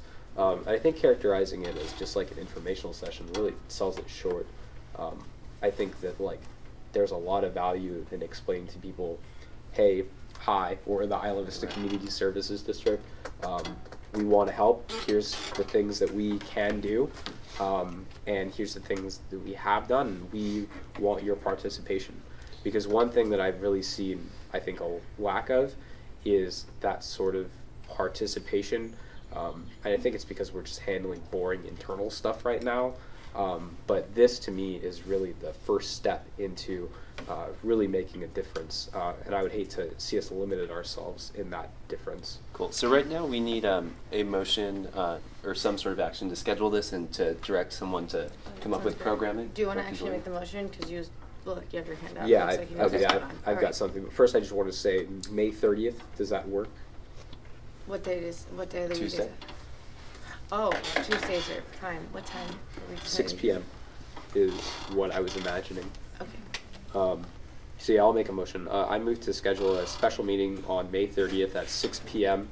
in a place to be determined, um, and to authorize uh, the board president to work with the secretary in coordination with the self-governance initiative to perform targeted outreach, promotion, and that the board president and the secretary prepare an agenda that includes an item um, for presentations about the district um, and history uh, of the district, as well as a period for directors to make presentations and proposals, um, as well as uh, a slot for breakout sessions. Um, yeah, that's it. That's my motion. I know Do we that have was a a lot. second? Sorry. Okay, there's a second from Jordan. I would ask that we make it much more brief. Yeah. Um, just because this could evolve into something that it makes sense Then to do something a little differently. Then Uh, everybody wants to add in like what little tweak we're gonna make to the agenda if we keep it like this, and I don't. Uh, can I ask, uh, Will, what, what you have written down from that? Um, so what I have is motion to schedule a special meeting on May thirtieth, six P M, location to be determined, and authorize the board president to work with Atlas Governance Board, um, to, uh, formulate a plan, and then to, um, include breakout sessions as well as other sessions with board presentations. Okay. Can we amend the motion to be, um, direct the board president to work with the board secretary and other stakeholders to create an agenda and notice the meeting? Is that friendly? Just, just that? Yeah, sure. I Ju- mean, I, I think that just to schedule a special meeting and then to work with stake, stakeholders? To develop the agenda. Okay. Yeah. Director Freeman? I will say that you've just moved my vote from a no to a yes with your modifications, so. Great. Thank you for the Um, can we just hear it Yep. again? Uh, schedule a special meeting on May thirtieth, six P M, location to be determined, um, and authorize board president to work with board secretary and stakeholders to develop the agenda. And notice the And meeting. Notice. Okay. Uh, any, and that's friendly with second? Mhm. Any other board comment? Mm-mm. Any public comment? Um, Ash? I mean, I understand that six P M is the, the good time to start, but, um, with the potential for this to be like an eight to twelve hour event, I might suggest starting earlier. I don't want eight to I, 12 I hour agree. events. Think, I, I definitely understand that it's gonna probably be longer than that, but if we think about it, nobody even gets out of class until probably around this time anyway, so I think it'll just be us sitting in a room until people show up and then be an eight to ten hour meeting, cause that's how it usually goes when we have forums, you know? So, um, I definitely understand, it's definitely has the potential to be a, great. a big one. Um, do any directors wish to change the time on Can- that? Can we limit the time to four hours, you know? Yeah, no, I was, I was thinking No, two you- hours. you I mean, really- when we did it, the But then again, two when it's a public forum, I don't know what your thoughts are, and I definitely understand, but do you all feel like we need to, can we have an ending time? Like, if, when, how long do we have this space reserved for, or any space? Because that needs to probably be predetermined as well. Right. And I think that'll We be in our prerogative as I think- I scheduling and think so, reserving too. the room. Okay. So we'll uh, take care of it. Okay, thank you. I- I heard Director Brandt say two hours, so I'm, I'm with you. I mean, yeah, when we did the noise ordinance town hall, it was two hours, and that was Okay, like we, uh, literal. we, only we need public to keep forum. moving on okay. this. Ash, Um, actually, I heard, um, yeah, I think two, two hours is just really not enough to get anything done, um, especially if we have presentations from board members. But even if we were to only have public comments and nothing else, I, just, I don't think the two hours is enough to get anything done. And I actually heard from several different groups who, uh, like filled out, um, you know, who had been trying to speak since the start of that meeting that were not able to speak at all. Um, and so I would hate for that to be a, a repeat. thank you. Okay, so I'm now going to call the question, or Good. did you, Mhm, is there something? question. No, Thank you. what I was doing. Okay, all those in favor? Aye. Aye. Aye. Opposed? Any abstentions? So ordered. Uh, motion passes 7-0. Um, is there any more discussion in this item before we move on to item uh, 4.9? Seeing none, uh, we're now going to enter item 4.9, discuss the power to fund a municipal advisory council. The board will discuss the power to fund a MAC. Members of the board, members of the public, and the third district supervisor's office have shown an interest in initiating this service. The board will discuss funding options, the potential role or roles of a MAC, options for membership, and next steps to be taken.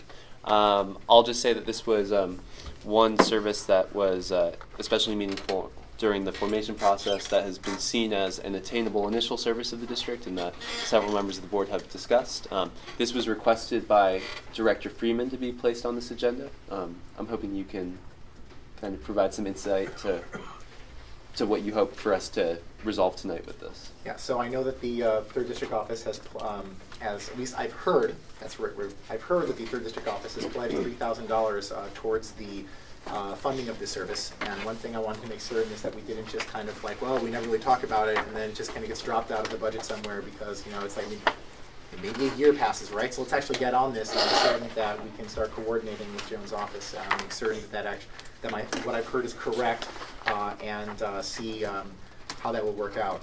Um, uh, also, uh, I know that in order to actually make this happen will require coordinating with them because we can't, we can fund it, but we can't create it. And so the Board of Supervisors has to actually create it. And so that again comes back to the, uh, our third district supervisor who is, uh, who's, is so interested in it that they actually uh, are willing to um, commit money to it. So I wanted to essentially have a time for us to talk with our third district representatives uh, about this service. Awesome. Um, and one thing that I'll just explain to what really uh, led a few of us who have shown interest in this service to, to be favorable towards it is um, as a body that was created to lift the self governance in Isla Vista, this provides um, community members and local representatives with um, the, the purview of advising the county, um, not just the supervisors, but also potentially um, departments who are working in Isla Vista on the will of the community um, to a way for the county to receive official feedback from constituents. Um, something that in other jurisdictions has been effective in streamlining the process because right now there's a lot of things um, that different uh, big entities working in Isla Vista, a lot of awesome projects they're working on that um, sometimes different community members feel left out of the process. This could be something to potentially um, put in place a consistent system for outreach um, and participatory decision making. Um, a MAC is strictly an advisory role, um, but in other jurisdictions, um, how it has played out is in order for um, something to happen in the community before it can be decided on by the supervisors, it's required to go through the local MAC. Something like that could happen here. We could be going for something totally different, um, but those are options. Um, do any board members want to speak in particular to what they would like to see from a municipal advisory council? Jay? Um, so actually, I, I, one of the questions that I have, and this is one other reason to have this agenda item, able to talk with our, district representative, representative um, is, so we have the power to fund it, we don't have the power to create it. I presume that because we have the power to fund it, that we'll have influence in how it's constructed, but also money's coming from the third district's office. Uh, so it's not even necessarily that we have the most leverage there. Um, I, um, I, so I have opinions on how we might structure it, but I guess the question that I, I would actually almost just, we could spend a lot of time talking about that sort of thing, but does, what, to what extent does it matter? I don't know if Joan has an opinion about like how she thinks it will play out at the Board of Supervisors level, um, this kind of construction. Um, I mean, I guess to provide some context on that, it could, for example, be that there's a model called the county town, where a community services district also is a municipal advisory council, and then they have uh, the ability to kind of like utilize multiple um, multiple um, uh, hats in order to accomplish uh, uh, widespread goals. Another option is we have the Vista Community Network in the area, which has been meeting for a long time and which in some ways feels a little bit like a municipal advisory council, but has never taken on that particular role before. Maybe they could be modified to turn into that. Another option that has been brought up, and which is actually, I know, the, the option that has been most pushed by um, Pegeen Sutar, who is the person who was um, really pushing for the Municipal Advisory Council like back three years ago during a lot of our town halls, um, is to have an, a new separate organization. And the way that that would be structured might, for example, have um, specific uh, roles. Like you can imagine like a 13 member uh, thing that has a, a, business owner and has a um, somebody from the uh, um, uh, the youth projects and somebody from the park district. I don't know, there's like complexity in how, I, I, I do not remember what Pegeen's idea was, and maybe even already from the three, three things I just listed, one of them is not one of the things that she would have listed, but, um, but like they have some kind of structured model for how that would work. Um, and so like, um, how would this, do you think, play out at the Board of Supervisors level? What do you think? Are you You could inviting pitch. me up? I'm Absolutely. Thank you. Well, honorable directors, I'm Joan Hartmann, third district supervisor, and I'm glad to be here. I, I have another meeting and I'm on a panel, so I'll have to make this a little fast. But municipal advisory committees, as Jay suggested, are authorized by state law. It started in the 1970s, and in fact, there was a MAC in Isla Vista for a while. Uh, but the money was pulled back, and so that disappeared. When people were looking at various ways that IV could be governed. A MAC was one idea and a CSD was another, so it was kind of either or. Uh, I argued for a CSD in the campaign because it's uh, no more about us without us. Uh, that is, if you create it yourselves, then somebody else can't take it away from you. Now we're talking about a CSD and a MAC. And uh, the way a MAC would be formed is by, as Jay already mentioned, the Board of Supervisors by a resolution. And that resolution has to have a name, it has to have a geographic scope, it has to just, uh, what are the qualifications of the members? You could have different stakeholders or it could be, uh, you know, other uh, qualifications. Would they be appointed? Would they be elected? Would it be a combination of both? And what are their powers and duties? So th that's what's in the legislation about uh, what the Board of Supervisors resolution would look like. From, from my perspective, those are questions for you to answer, for you to tell me, and I would go forward. Um, I think there are, uh, I'm agnostic on the issue of whether you ought to create a MAC right now. That's up to you. I think there are some advantages in that you get broader representation. I think there may be some disadvantages. You know, how much can you chew off and succeed in uh, all at once? And as Jay already mentioned, the IV network, which has a regular meeting and, and has a broad group of stakeholders, that is an entity where community doesn't have to come to the county. The county already comes to the community. So Public Works, Third District, the General Services Administration, the Sheriff's Office, they're all represented now. And, and so I think to ask them to come to another meeting uh, would be hard. Uh, but if, if you wanted to go there, or representatives of a MAC wanted to go to the county, or, or you know switch things around, that but that's up to you to decide. Uh, every supervisor has a little discretionary pot of money of five thousand dollars.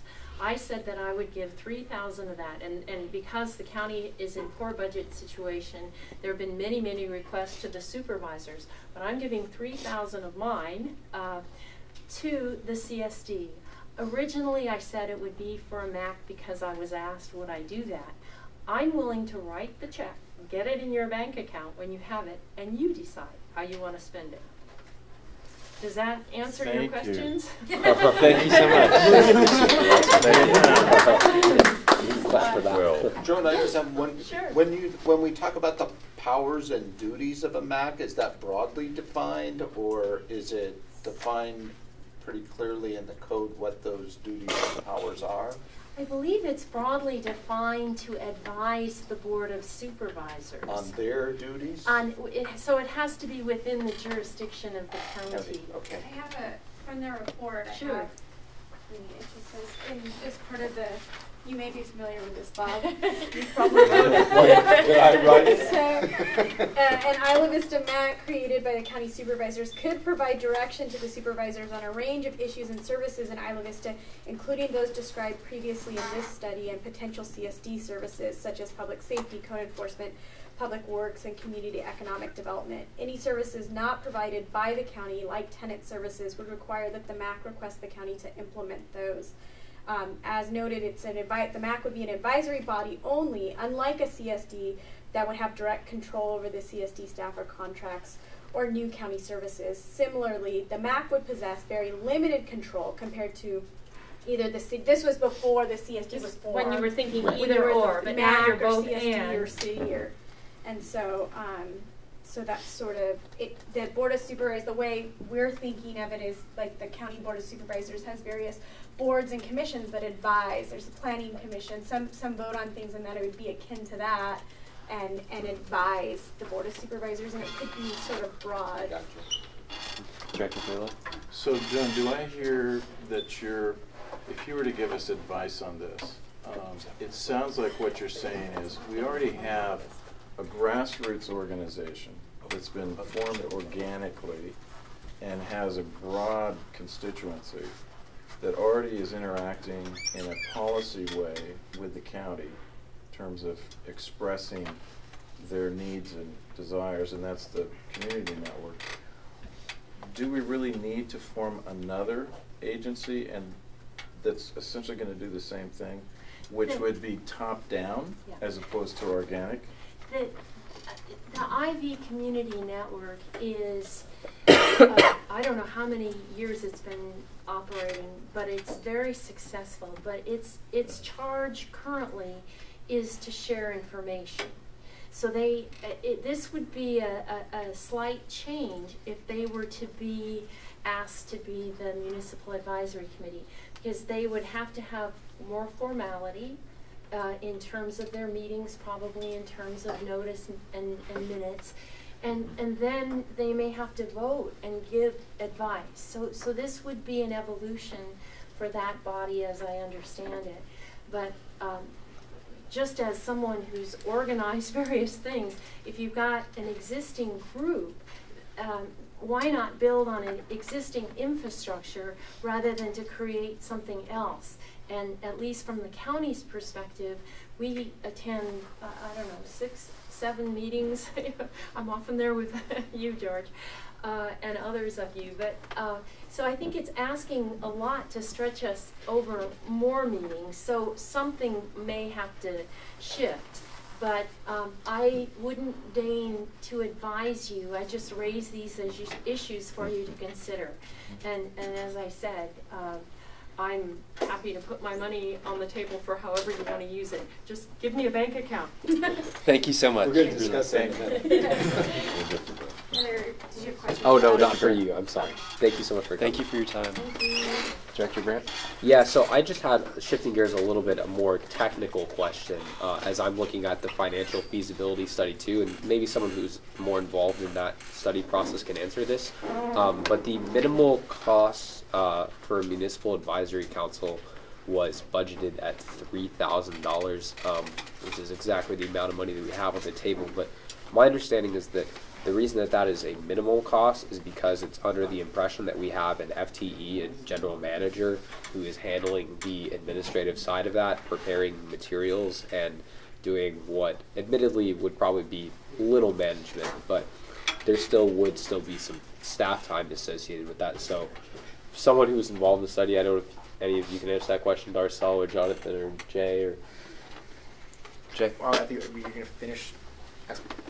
Oh, my question is the minimal cost that's budgeted for at three thousand dollars. That's un- under the assumption that we have a full time employee, correct?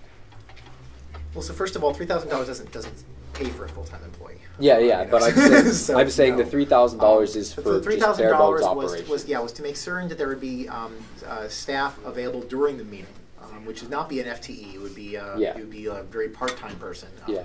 In order to take minutes and distribute um, uh, notices and to um, do the um, uh, uh, be able to receive phone calls and essentially the same kinds of like very minimal things that right now uh, we are we are struggling horrifically without having access to. Um, the um, uh, there was contention about whether that number was high, um, or, but uh, uh, the county, I believe, was the people who really, really pushed that this is the cost that it would be. And because the county um, would be the entity that constructs it, we don't have as much flexibility in order to to manipulate that. Uh, But I, and you know, again, I say the county. There was a per- maybe Bob, as somebody who was in the county at the time, had a different had opinion. an opinion. Yeah. I- Well, I'll- I'll say that I- I- representative at the meeting who was Yeah. from the county. That's what I mean by that. I'll, I'll say that I, I asked the question because in some other things I've seen seven thousand dollars budgeted for it. So I'm asking if there is some other assumed staff time that went into this three thousand dollars, or that made that cost so low. Director Thurlow. I, I would just say is, uh, I think this is something that should have a committee of our board look at, because uh, who knows what it costs to Right, run. okay. a I was just wondering if anyone knew. So I would, uh, I would recommend that we send this to the, to committee. um, Formation? It, can, it cannot go to formation at this time. No, I don't think. Okay. I think there's yeah there should be a could be a specifically to this. I- I- And I'm gonna use the rest of it. Director I- I- Guest. I think the dip, I think w- this is part of the latent powers issue.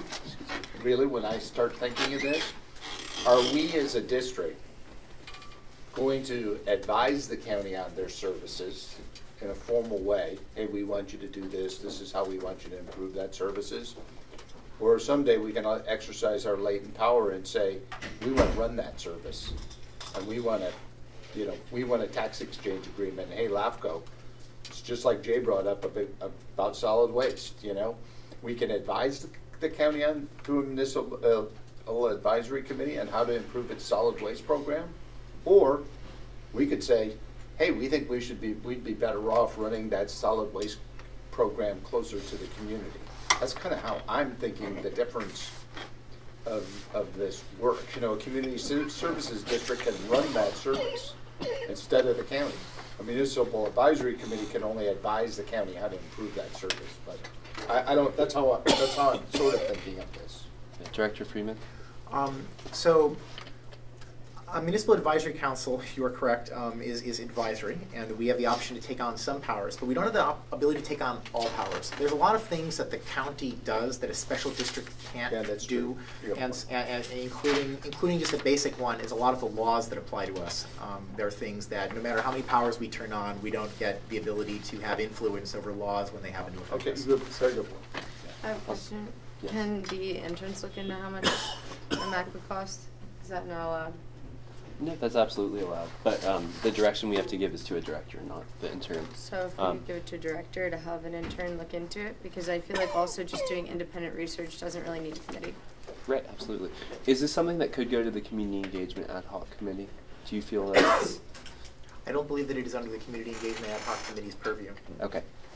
Um, I do know there's a contact at, at the county, Dennis Bozanich. Yes. And he recently was up at Alameda County, and he actually served on, uh, through their CEOs, served in, uh, as staff to three MACs. So maybe we could, someone could contact Dennis, he's kind of our, our liaison into the CEO's office. Somebody could call him and ask him what it costs to run a MAC. They're, they're probably big in Alameda County, but Um, he was uh, actually talking to me about whether they were functional or dysfunctional, you know, so we might be able to get some good information from him on a real, you know, a MAC that's in existence. Totally. Director Freeman, would you like to further examine this and I would be- report back to I the would be board? happy to do so. Awesome. Uh, would you like a motion or just a? Um, maybe a motion would be better? Sure. Uh, I move to designate Director Freeman as the point person regarding the Municipal Advisory Council uh, to meet with stakeholders and uh, bring a report back to the board um, when necessary. Um, do we have a second? I'll second. Okay, I'm fine with this. I was thinking more to authorize Director Freeman to look into this because he's Yeah. probably sh- we don't need to make him the sole Let's- person. let's Yeah, authorize. Person card is the part I would Let's- never, yeah. yeah. authorize Is Director friendly, Bob? Yeah. So authorize Director Freeman to, and what do you have after that? Will. Authorize Director Freeman uh, as the point person for the MAC to uh, meet with stakeholders and bring back a report uh, to the board when ready. So, do you want that point person part taken out? Were you saying? To, to authorize Director Freeman to meet with stakeholders Right. and a report on the MAC? Would that yeah, be? I don't want to be. I don't want to be the point person Right. for Yeah, the yeah. municipal advisory council. I want to just be authorized to go. Okay, and, sounds good. Right, so if we take out that part and then add municipal advisory council to the end, so it's clear he's meeting with stakeholders and giving a report on that. Once you have that, just read it that. So authorize Director Freeman to meet with stakeholders um, and bring back a report, uh, or bring a report back to the board um, on the MAC. Okay. Um, is that friendly with the first and second? Yes. Cool. And uh, it's written exactly how you read it? Exactly how I read it. Fantastic. Any public comment? Thanks for editing. Yeah, absolutely. Um, all, any more board discussion? Seeing none, all those in favor, aye. Aye. Aye. Opposed? Any abstentions? So ordered, seven zero, um, motion passes. Any more discussion on this before we uh, move on? Seeing no discussion. Okay, now we're, um, since we took those items out of order, that's, uh, we've concluded 4.7, 4.9. We're gonna go, um, to four point two now, back in the Could we- regular. Could we do four point three and then four point two? I think they flow better. Yes. Sure. Okay, four point three, consider entering into an agreement with the County of Santa Barbara through financial and accounting services. Uh, consider recommendations from the Formation Committee that the district enter into an agreement with the County of Santa Barbara Office of the Auditor Controller fi- for these services. Um, we've su- submitted a late attachment, which uh, was made public, as Director Brandt mentioned, um, which outlines um, essentially what you're uh, recommending the board submit. So if you want to talk about that a little bit. So, you know, early on, we, we opted into the Treasury's accounting service, the Treasury Management Services, and we held off on this decision about entering into an agreement with the auditor controller to provide kind of the sister services, which are the accounting part. We went back to the Formation Committee and I kind of discussed the cost with the auditor controller's office. You know, got them to agree that five hundred dollars for the first two years would be reasonable, and then we enter into this plan called the cost allocation plan, which means you actually accrue your actual cost of services for those two years, and you can either get a credit or it could cost you more in the third year. So you're taking a risk if you really richly use their services, it could cost you more. Also looked into the alternative of using something like QuickBooks. That's five hundred dollars a year just to buy the software, and then you don't have any accounting policies and procedures. The auditor has a sixty-seven page book, tells you how to, you know, make deposits, how to make journal entries, how to submit the budget, how to organize your accounts. We did a bunch of work with, um, it, prior to the formation of the district that I think we have a good accounting structure. So I just think for, you know, it's like making a deposit. You should have two people doing it. One person makes a deposit, the other person does the accounting entry, they exchange documents. You have more checks and balances in the system. It's all designed. And so I just think we should go in this direction and use this service. Fantastic. And just And to- we worried about the cost, you know, to beginning, but now we're starting to see some money from, you know, I'm gonna make a contribution of a thousand dollars a year for the next two years, so, uh, that's my pledge to the district, and hopefully that would pay for, accounting services, some business cards, and a contribution towards insurance. And so, um, with that, um, I think this is the way we should structure this. Absolutely. And um, so the five hundred dollars that you have listed here, that that's in consultation with the auditor controller's office. You've arrived at that. Yes, yes. Cool. Uh, Father John. No, just Uh, scratching. got it. Uh, Director Britt. So, and just to clarify, so this is an agreement that is pretty standard, uh, and it's from the auditor's office. Right, and actually I designed it, and I think we're missing a page. It actually probably would go to the Board of Supervisors for their signature. So. Oh, okay. My bad, I'm the one who scanned it, so. um, Well, I, I think that the big thing on this one, and we talked about this in formation committee, is just what it costs. Um, so can you explain a little further just to everybody the way that the cost allocation plan works? So the cost allocation plan is a series of, if you use county services, there are accounting services, there's different aspects of it. If we're running a payroll through them, it would cost more money because you're posting your, your payroll up into the account. If you process a lot of vendor payments, your costs are gonna go up. If you go into their specialty accounting and ask them for a lot of specialty accounting services, your mm-hmm. costs are gonna go up. If we have a really expensive chart of accounts, you're, you're gonna have more costs. If you add more than one fund, you're gonna have more costs. So as we get more complicated, you know, these services can run up in other districts up from anywhere from five to twenty-five thousand dollars. So as you get sophisticated in accounting, it costs you more as you use their services. But for, if we do minimal services, I think we can get away with five hundred dollars a year. Although I've already thought about as we get in contributions that people want to dedicate to certain programs, we might have to do a little bit more sophisticated accounting and it might cost us a little bit more. So does that make sense? Yeah, thank you. I have um, one uh, point just on uh, item nine, insurance. Each party recognizes and accepts the other party is self-insured. Either party may purchase. Um, so with that one, I'm just curious. Uh, this is kind of a chicken or the egg scenario where um, to purchase insurance, we are going to need um, a transfer of funds, um, and if we need if we need to have insurance before we enter this agreement, how do we kind of reconcile that? Because my, my idea is that to purchase insurance, we're going to need a transfer from perhaps the university's accounts to the CSD's account um, to pay for it. But if the account can't be set up b- before insurance, Well, no, read this, read the second line of that. either party may purchase commercial insurance to cover their May. exposure. Yeah. The word is may. Oh, okay.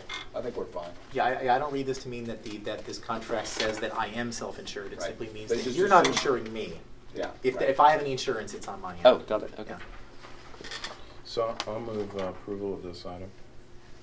Is there a second? Second. Um, Can we- there- there let's let's make that a little more specific. There are at least two very critical, well, there's one Wait, very wait, wait, critical but typo. re- Oh, wait, we're in the middle of a motion. Um, so, for move the approval of the item, are you? Uh, Well, the item is, con-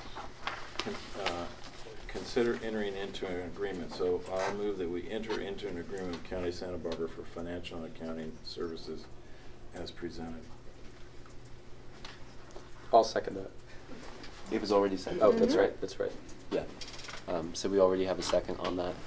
Uh, Will, do you have that? Title. Yeah.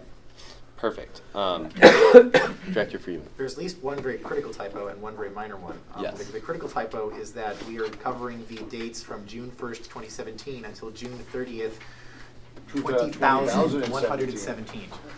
That would be me really bad. It's just. And then there's a minor typo, which is IVCSD designated finance officers. Um, but, um, I, I also will ask, you you said that this is not the complete contract? This is pretty much the complete short version of this contract, yes. I mean, usually the clauses Where- that where would do come you- after number ten are not, like after amendment are not clauses that I particularly ever care about, but. Where, where were I'm you just reading asking. about the officers? Oh, the officers is in, um, uh, it's in number six, communication, final sentence. The auditor controller will meet as needed with the IVCSD designated finance officers. To review the services provided. That's a minor typo. It's just the, the, the date one is kind of fine with me, not too. Officers who. So I'll take that as an amendment, Oh, yeah, I got friendly, it. friendly amendment to. Friendly with the uh, second. What, and I, I think the, the motion was for us to enter into an agreement. Yeah, it No. wasn't to enter into this agreement. Oh. Not, not this specifically. What agreement would we, okay. Well, it would be the, I mean, we'd With fix the the typos fixes. is what I'm saying. Oh, Um, so are we, are we in fact then voting to approve an agreement or not?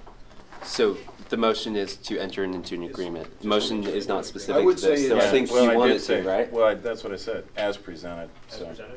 yeah. Okay, So my but- last words were yeah, as that's fine. presented. Okay, we're going to need to tighten that up um, to make it clear to someone because uh, in the initial agenda, this wasn't included.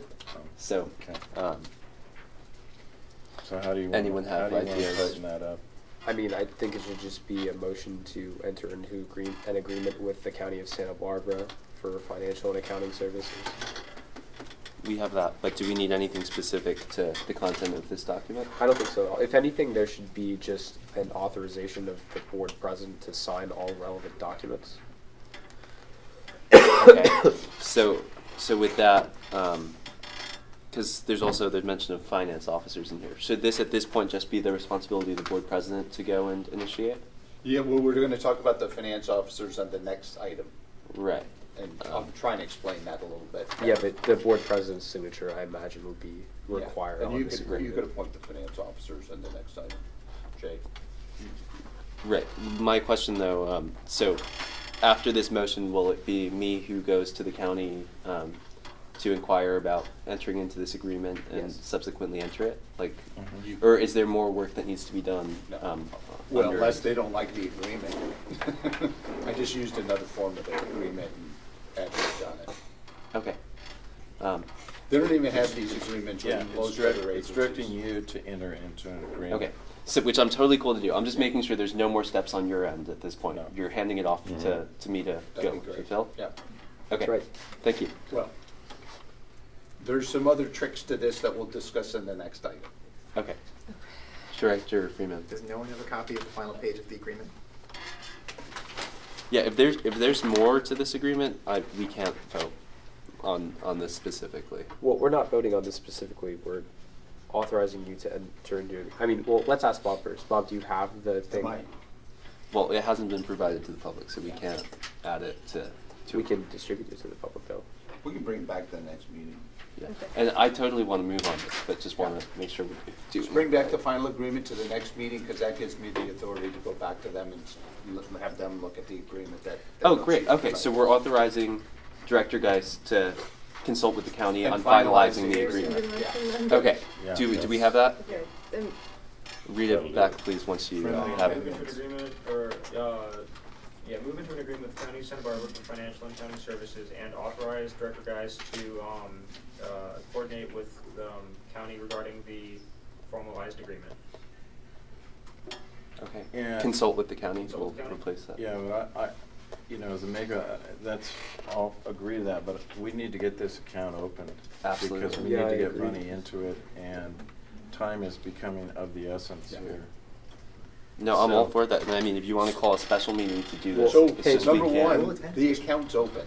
I'll uh, Discuss the technical detail in the next Okay, issue, but the okay. account is open, the fund is Okay. established. If, if I had a check in hand, I could probably walk in there and get it deposited. Okay, oh, good. Wait, so I just have one question. Is there another page to this agreement? I think there is. If we're gonna be sending it to him though, and we don't really need it, then can we just show it at the next meeting? Does it matter? Well, I mean, you know, time. I, I agree with George. Like, time is kind of the essence on this one. So, I mean, if we can, just So tell the there's board no public president. notice, are we not allowed to talk about it, you know? No, we, we can talk about it. Yeah. Just we don't have a something to refer to in our motion right now. Ah. Yeah, but I think what we have is director Geis going back to finalize it and bringing it back for immediate consideration, right? Yeah, Perfect. I mean, I, I'm okay with that. It's just that that I mean, w- Okay. It seems unnecessary if there isn't another page of this. Yeah, it may be intentionally left blank, or maybe one of those, like you have in contracts sometimes. Right, but then also director Geis, you said that you do want to make sure they're agreeable on this, and I think you Yeah. being the former auditor controller will be more effective than me. Yeah, yeah, that'd be fine. Great. We Um, should just go back and check it, Well, but Okay. this is just a formality. Awesome. Could you, uh, Yeah. Right Um, after. So the motion is to move into an agreement with the County of Santa Barbara for financial and accounting services and authorize Director Geis to consult with the County of Santa Barbara to finalize the agreement and bring it back to the board for consideration. Director Freeman? Wait, so then if I heard correctly, that motion still says that we will actually enter the agreement, not just finalize the agreement? There is a second page to this. Yeah, so move to, there isn't? There is, there is. There's a signature page on the agreement. Okay. Ah, okay. So, m- So move, Move to, um, uh, move into an agreement with the County of Santa Barbara for, um, financial and accounting services and authorize Director Geis to consult with the County of Santa Barbara to finalize the agreement and bring it back to the board for consideration. I think that last part is all we need here. Mhm. Authorize director Geis to, There's eleven, twelve, thirteen. right? Yeah. Okay, and, uh, once you get that, just last time. Uh, so what, just what does it say now with what you took out? Um, which one do you want me to take out? Move into, move into an agreement. Okay, so that first section. Yeah. So just authorize Director Geis? Yes. Gotcha. So it's authorized Director Geis to consult with County Santa Barbara to finalize the agreement and bring it back to the board for consideration. If you're making a motion to accept the agreement, why do you bring it back to authorization? Because we're not making a motion to do that, because there's a part missing. Um, That isn't what the motion says. though. we just took out that first part. Okay. Yeah. Is that friendly with the maker in second? Okay. Any more public comment? Ben? Um, I think this is probably the right way to go, but if it's money that's the issue, because there are students on the board, you can probably get QuickBooks for free through the university, um, because it's an accounting software. I think we're looking for professional services, right? But I'm just. I'm- Thank you. Thank you. Because it's five hundred dollars. I appreciate it. Any other public comment? Any more board comment? All those in favor? Aye. Opposed? Any abstentions? So ordered, seven oh. Any more discussion on this item before we uh, go to four point two? Okay, moving to four point two, consider the creation of financial slash accounting officer positions. Um, Director, Geis, if you want to Yeah. tell us about this. So when we first did this, these are more, I don't want to say clerk duties, they're accounting duties. There, and there's two sides to this. There's somebody that has to make deposits at, to start off, there's somebody that needs to make deposits at the bank. The treasurer contacted me and said, I need their contact name, I need their number, I need their email, and oh, by the way, I need your mailing address. I said, well, first one's a problem, but I could almost make one up. So I'll, I'll see what we need to do to get beyond that block, but we just need to address somebody that's the contact for the treasurer's office. Same thing in this agreement, we need a contact for the auditor's office so that when somebody initiates a transaction in the financial accounting system, they have to be an authorized user. And so my suggestion was some other board of director other than me be the finance officer for the district. The per, if I initiate a document, or if I was the controller position or assistant finance officer, if I initiated an accounting transaction, that other director would have to approve those transactions. Could be, you know, and so we want two parties in every transaction and we want two sides to the ledger, somebody on the treasury, somebody on the accounting. And that's what we were suggesting here. Um, that create the position of the finance officer, I was really gonna put that person overseeing the process and make, you know, overseeing the controller. And if you guys wanted me to, I'd be the doer for a while. Not that I wanna do that for very long, cause I'd like somebody else to learn how to do the do. I mean, but somebody has to be the appointee and it'd probably be easier if I initiated some of the transaction and the financial accounting system, it'd probably be cheaper and more efficient, but then eventually I would like to turn that over to the acting general manager or someone else. But there probably should be a director that's approving the transactions of the, the acting general manager or any transactions that I would originate. So we were suggesting Natalie do it. Really? Good thing you showed up. Um, Well, one thing I'll I'll say. Um, Or the president could do it too. Well, I don't think either of us could do it because um, by law, if I remember correctly, in the community services district law, you can only hold one officer position on a special district. So let's not call these officers, let's call them clerk one and two. I'm, I mean, that's great, but I don't want to. I don't want to. Yeah, but I, this is, well. This is a really I- serious. Uh, Yeah, no, I, I agree, I, I agree though that we're not designating what would be a corporate officer under California corporate law. I'm talking about officers of a board of directors. That's what I Just- mean, and, and, and essentially that's set out in, in California corporate law, which essentially says all corporations, including this one, nonprofit, have to have direct, directors and officers. But we determine who those officers are. And, and I think what Bob is saying is this person would not be an officer.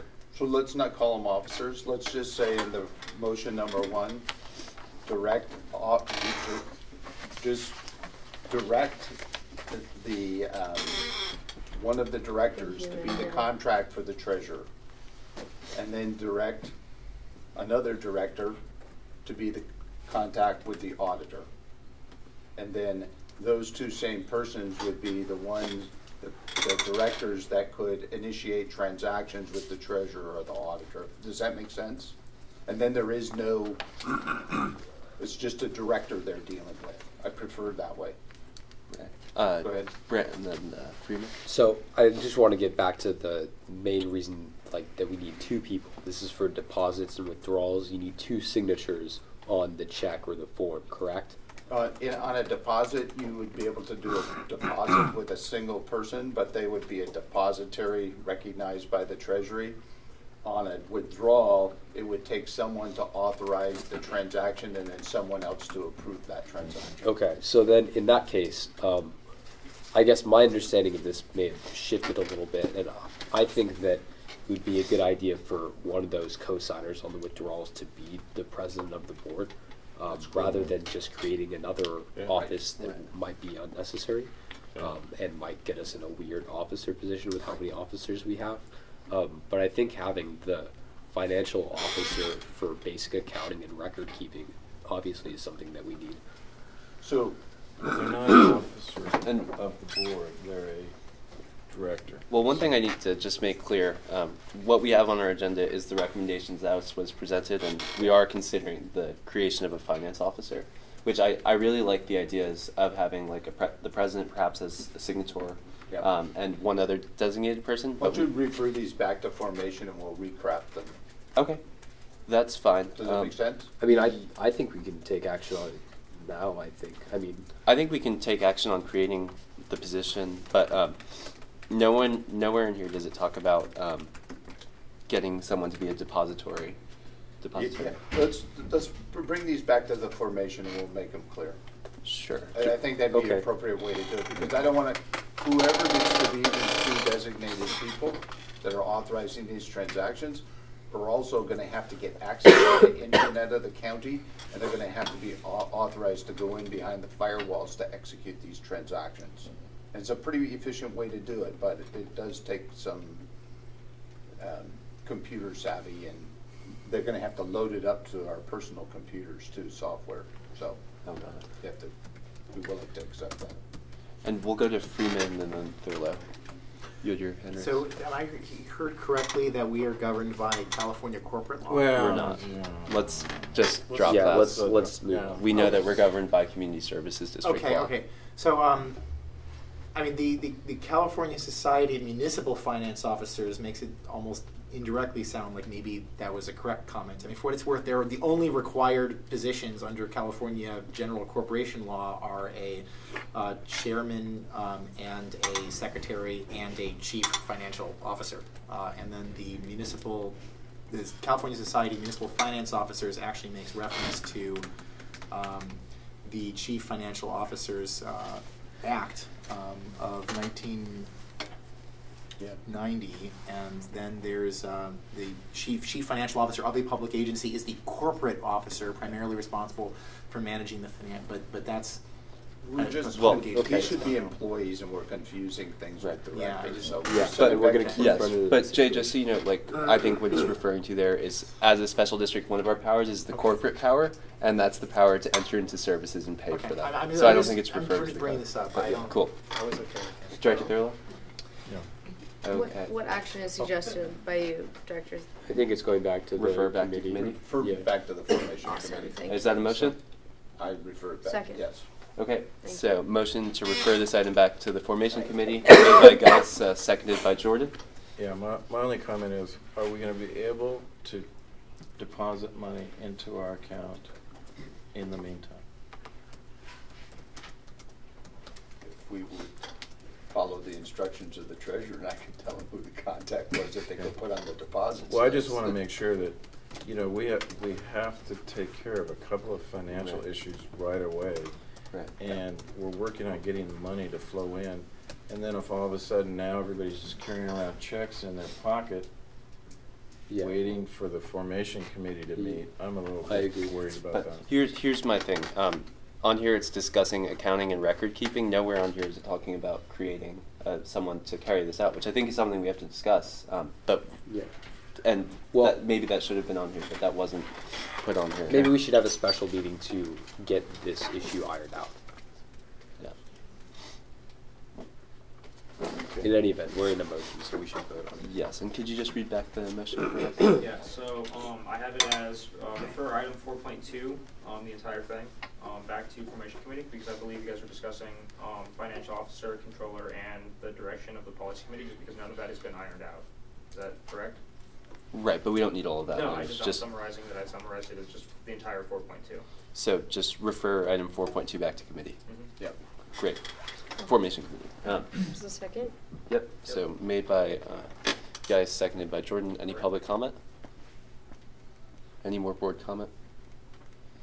All those in favor? Aye. Aye. Opposed? Any abstentions? So If somebody gets a check in their pocket, I think we can walk down, we'd have to go downtown, we could go into the treasurer's office and we could get a deposit made. Okay. And we're speaking about that in the role of the finance officer, right? No, we're just Well, that's saying how it's we- agendized, so then we can't speak about it if Do it's we not. do, did we finish the vote? Sorry. Yes, Okay. we did. We did. Yeah. Director I Bennett. wanted to request if we moved over to item four point eight, because I just realized that I think we have representatives from the Isla Vista Tenants Union here with us today, who might be interested in that. If you guys see Daniel over there. Are, are we uh, finished with this item? Yes. Okay, um, that, that'll be fine. Item four point eight, discuss the power to create a tenant mediation program. The Board of Directors will discuss the power to create a program. Um, and as I reported, um, at the special meeting, in my meeting with representatives of the Chancellor's Coordinating Committee on Isla Vista, um, they seem to have interest in exploring this program, um, including seeing what all the services currently being offered by the Community Housing Office, the Santa Barbara Rental Housing Mediation Program, and out of Vista attendance Union, seeing what the existing services are, and um, seeing if there are some different things that should be considered for going forward. Um, and were you interested in presenting to us by any chance, or? Um, I can go out there and clarify any questions that we have in the future. and- okay. Um, and this was actually, I put this on as a request of Director Thurlow. That was uh, requested at the end of the second meeting, May, May 2nd meeting. Um, and I think what we want to do in the future is get a presentation. Exactly. So that was, a- the point is, since we have to agendize everything, um, the point was that we need to get a presentation and then we need to do some homework about where all the services fit and figure out where are the holes in the services. And also at the same time, um, the uni, as you folks probably know, the university is re-looking at its community housing office and how it functions mm-hmm. and how it functions particularly in terms of, so there's a real opportunity right now for the university as it looks at its community housing office, for the tenants union, and for the Santa Barbara Housing Task Force to all kind of come together and come up with a plan for providing, in particular, I think, mediation services, which is for everybody, for everybody in Isla Vista. So the reason I put this on there is that there's, that it, it's a good time right now, but again, time is of the essence. The university is gonna want to you know, put in place a community housing, a new sort of form for community housing office. So the question is, is how do we, we as the CSD want to interact with tenants union and the university in, in helping to provide a service in terms of, in the community?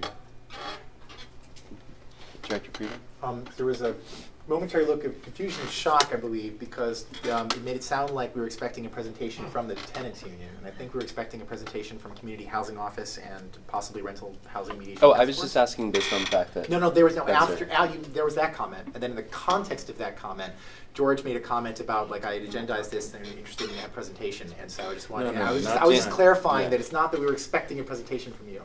Thank you. Uh, Director Yeah. Brandt? Oh, I was just going to say, just on that note, um, I understand, I heard something about the tenants union possibly getting a grant for something like this. Can you speak to that at all? Yeah, is it okay if I talk to you? Sure, Or am I- that's fine. Okay, I don't know. Um, so there have been discussions with the tenants union about contracting tenant mediation services uh, by the hopefully by this summer. Um, we have been in contact with the Santa Barbara Rental Housing Mediation Program, um, and unfortunately, they were not able to provide tenant mediation services. Um, they were not interested in entering a contract with tenants union, so we're actually exploring different options. Uh, we've been in contact with Conflict Resolution as a potential tenant mediation service organization. Can you explain why the Santa Barbara group is not, fit- Yeah. is it a money issue or is it a? I have an email, if you don't mind me, I can read it. Please, please. Um, so after additional review and deliberation, our management team has decided the city's rental housing mediation program will not be entering into a contract or an agreement with the IV Tenants Union for landlord tenant mediation services.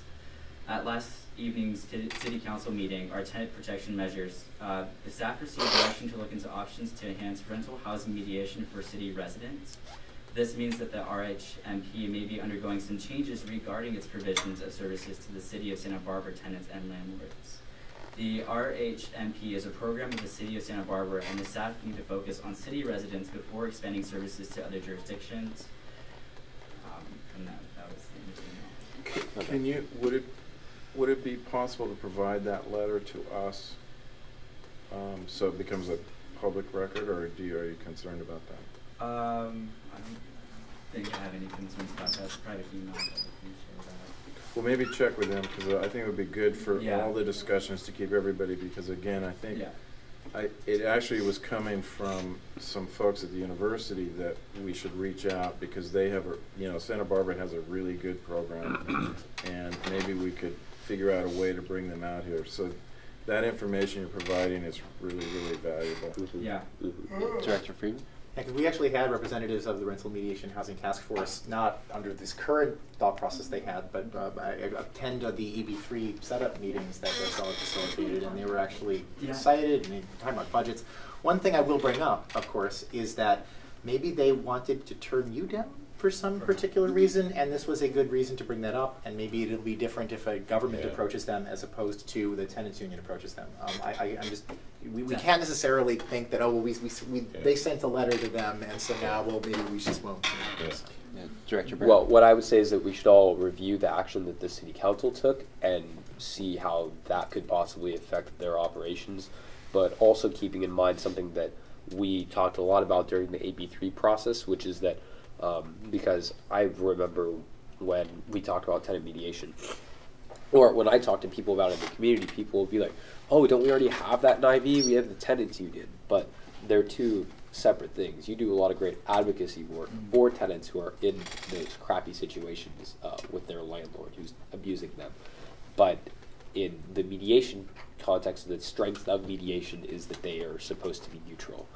Um, Right. And I know that in any conversation about contracting with a specific agency or a nonprofit or whatever it is to provide mediation services, the root of the conversation always gets back to uh, is this the right group to be doing this? Are they neutral or do they favor one way or the other? So, um, So can yeah. I make, can I make a motion? And the motion would be that we invite the Santa Barbara, I, I, I keep miss. the name of it. Santa Barbara Rental Housing Mediation Program. Can, uh, program? can- It is, it is program. So, and that was part of me putting this on here was so that we could uh, move on to the next step, which is to have them come and maybe make a presentation to us at our next board meeting about, um, not only to hear from them about what's going on, but maybe get some ideas about what we could do in a similar vein. That's great. Um, and is there a second for that? I second. Wait, she had her. We're in the middle of a motion, though. Um, I second. One moment, we'll go right there. Um, di- uh, Will, what do you have? Sure. Invite the rental housing mediation program to make a presentation to the IVCSD Board of Directors at an upcoming meeting. I just have a couple of questions. Does the community housing office do mediation? No. Only for students. Only for students? And, and actually, you may know this better than I do. Yeah.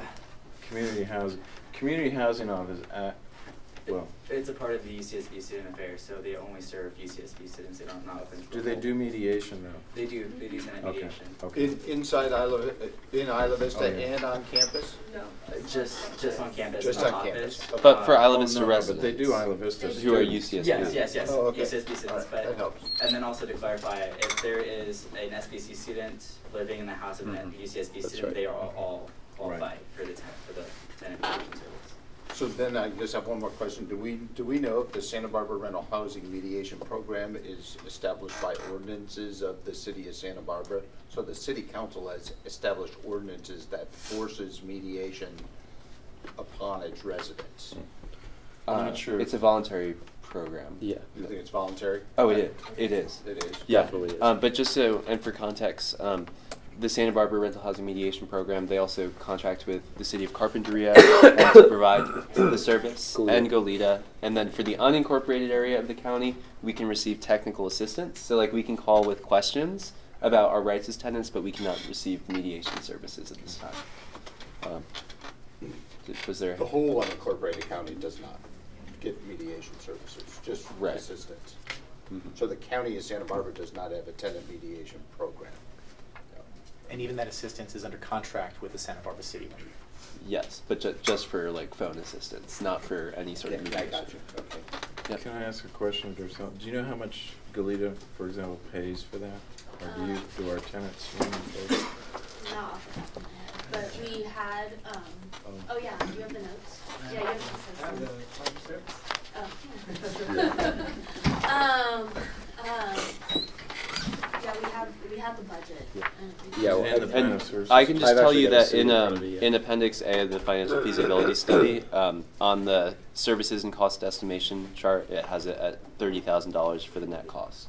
So, Okay. but that wasn't accurate, that wasn't based on actual cost from rental housing mediation task force. That was corrected when they came and brought the. Director The number that I remember the rental mediation housing task force bringing to us was twenty-five thousand dollars. Uh, I, I, during that meeting, I pushed back on them and they actually were like, you know, it could be as high as fifty thousand dollars depending on how many problems you end up dealing with. Um, but Yeah, that's the thing, it was like hard, so we were gonna budget on the high end, when we thought we were gonna have money. We were gonna budget on the high end, um, and then alter it, alter the contract in later years, depending on how many, um, it was, Yeah, CARP pays uh, twenty-seven thousand and Goleta pays eighteen thousand. Oh, sorry, no. no.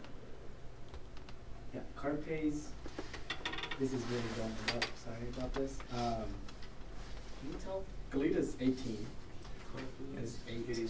Yeah, okay, Carpinteria is eight thousand seven hundred twenty and Goleta's eighteen thousand five hundred thirty. And the county is twenty-seven thousand five hundred. And the housing authority is ten thousand. I don't know what they're doing with it. Director Freeman? You can't quite directly compare the contracts though, because um, Goleta doesn't contract, I think, for face-to-face mediation. I think they only contract for telephone mediation, and because there's like different levels of, of things they provide to all the different groups. So. And I'm sure a lot of this will be clarified in the Yeah. presentation. Yeah. Um, but Director Brandt? Yeah, my, my point was just gonna be, the service is gonna be utilized more here in Isla Vista than it would be in Carpinteria or Goleta. So, yeah, I think these are all questions we can get answered at the presentation. Cool. Uh, so Will, could you just read us back? Yeah, so I have invite Santa Barbara Rental Housing Mediation Program to make a presentation to the IVCSD at an upcoming regular meeting. Fantastic. And then, um, who the move to in seconds? That was by Thurlow and Second Jordan. by Nunley. Yep. Um, okay. Any other board discussion on this motion? Any public comment? Yeah, I had a question. Would the CSD be open to contracting other mediation services besides Santa Barbara mediation? Like Or- conflict resolution? Yeah, on the the courthouse, or Um, it just? That p- potentially, I mean, it's in our yeah. power to contract um, just to provide the service. So we have um, we have uh, some options with that. That's one that was brought up during the process. Yeah, uh, Director Freeman. Actually, I believe this is one of the rare ones of our powers that if we even wanted to get a bunch of volunteers, hire some staff, and run it ourselves, we could. I'm not suggesting we do, but like that's how broad of a scope we actually can do with this one. Right. We have much greater autonomy in this Yeah. service than any other because in legislation it just says create, where a lot of our other ones are contract for or fund, but this one says create. But anyway, um, Do we know if, I'd love to like, get a the city of Santa Barbara charges for these services? Do they make money, or is it all just supported by their general fund? supported by uh, the general fund. You think it's all just taxpayer dollars supporting rental mediation, and the landlords don't pay if they, they don't, they don't I perhaps you know perhaps there is a fee base to it for the city where um, that the landlords are paying, but in our in our discussions it would just be coming out of whatever revenue we were to have. But anyway, let's uh, decide on this this question. Um, Is there more public comment? is it related to this motion? Probably. Okay, we'll we'll just vote on this and then come right back to you. All those in favor? Aye. Aye. Opposed? Any abstentions? So order seven oh. Go ahead. I was just kind of curious, uh, Director Thurlow, um, has the university contacted the community housing office about its annuation program and implementing it for all Isla Vista residents? Like This recently? spoke at the AB. I'm just. I, I think we're talking about the recent. So clarify, help me with the, help me there- understand. Has been more discussions in the past couple of weeks with the community housing office about a tenant mediation service for all of Isla Vista? Not that I know of, but I, but I think it's on their agenda. Okay. In other words, I don't think there's been any discussions in the last couple of weeks, but I do think Okay. that it's on their agenda in terms of working with the CSD. Okay. So you may want to pursue that along your, Yeah. And just so this is something that you two can help with, um, one of the concerns that came up during the community process with, um, talking with, um, UCSB providing tenant mediation was kind of mistrust between the Latino families and the university, um, and, you know, kind of where that stands and everything. So since IVTU has a good relationship with the Latino families, like maybe bridging that, um, so. Definitely. the big issue is that since this is funded by students, um, or student housing money, it really can't be extended to other, without the idea of this is a gift of, you know, essentially, we're taking student money. But that's where this board can come in, right? That's To where do this something board can different. come in, Yeah. exactly. Yeah, so look forward to hearing that report. Hmm. Any other uh, discussion on this item? Thank you so much for coming. Yeah, thank Really you so much. Good to see you both. Um, all right, um, now we are going to go on to item uh, four point uh, four. Yes. Let me just uh, cross everything out that we've done. Um, okay, so discuss and consider draft letter to solicit pro bono legal services. Consider and take action on recommended eh, recommendations from the formation committee regarding the solicitation of pro bono legal services. I think this is a great idea. I looked over the letter. Um, there's a few factual things for us to correct, but um, the I never like facts. alternative facts you're using. Alternative facts. Um, Yeah. But um, like, yeah. But the intent of the letter, um, I think it's great, and I think we should get this out right away. Um, Director Freeman. It doesn't matter at all, and I would still be willing to send it even with this mistake, but it says the district has seven distinct areas of service, and we have eight distinct areas of We service. have eight, yes. But it doesn't really matter. And also, uh, our tax measure would have raised um, over five hundred thousand dollars rather than over two hundred fifty. But um, it's easy to confuse that with Measure O passing this week. Uh, but Director Yeah, Brandt? I just think this is a great way to get the ball rolling. Uh, we talked about it a lot in formation committee, and thank you, George, for drafting these letters. Um, I also just wanted to say that um, I've spoken to uh, an attorney who was at our formation committee meeting, um, and he seems like he's really interested in trying to help us out. Uh, so like I'm glad to get the ball rolling on this, but I really want to see us keep our options open because again, this is one of those things where I feel like we're working on a short timeline, um, and so um, hopefully uh, at the next formation committee meeting we can talk a little bit more about that. Um, but this seems like a good, easy way to get the ball rolling. Director Geis? And if I got a, we've gotten one direct solicitation from a former UCSB person the to the formation committee, and I think it, he said he sent something to Ethan a long time ago. So I don't know how, if we're allowed to put that person's name forward, or how, how we, Let's not pers- put the person's name forward because I think I've been in contact with him too. But uh, he is someone who seems like he's really interested uh, in. He's a former Isla Vista resident, so. Um, I just don't know how in our board. process we get that person in the loop other than going, you know, how do we get people that show direct interest in the, in the process? Yeah, yeah. No, I've been thinking about that too. I mean, one of the ways I guess is that if like if someone brought like a proposal to us, like that would be nice. I mean, I don't think that I would be able to say no to that. You know, something like that. And I mean, we we're gonna have to talk about that. I think in formation committee in terms of what the process okay, looks like. Um, you know, now that you guys have brought it up, um, so you need a motion to send this letter. Yes, and I, how I see this is this is a letter soliciting interest because when we do when we're ready to move forward, we ne- will need to put out an official request for proposals. Maybe we want to consider that immediately at this next meeting, but this is just something to get the conversation started, That's something right. to get Okay. people thinking about And then- this. So I'm gonna follow it up with another motion. So I'll make a motion right now that we authorize you to sign the letter with corrections. Okay. And mail it. I second. All right. Okay, so authorize the board president to s- sign the letter attach, the letter in attachment B and mail it to the listed parties with corrections. Perfect. Um, all right, any more board discussion on that motion? No, thank you. Any public comment?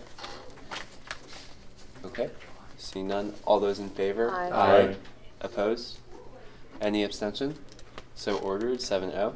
So let me, let me make a follow-up motion, which is, you know, when you're dealing with professional, when you're hiring professional, um, how you don't do it in a big open setting where you have them all come in and make presentations in front of, it's gotta be, so I would, I would recommend that the policy committee, um, take up at its next meeting a protocol and procedure for us that in hiring, um, the, um, I don't know, however you wanna refer to it, professional Yeah, so positions, re- including the general manager. For how to do a request for proposals for this type of thing.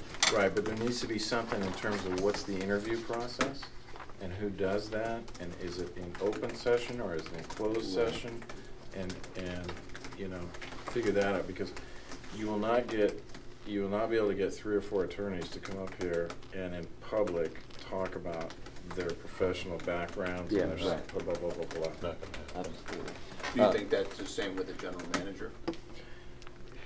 That's not this discussion, but great question. Um, and do we need a motion for that, for the I just wrote it down. policy? Okay, I cool. will put stuff on policy committee. Um, all right, any other discussion on this item?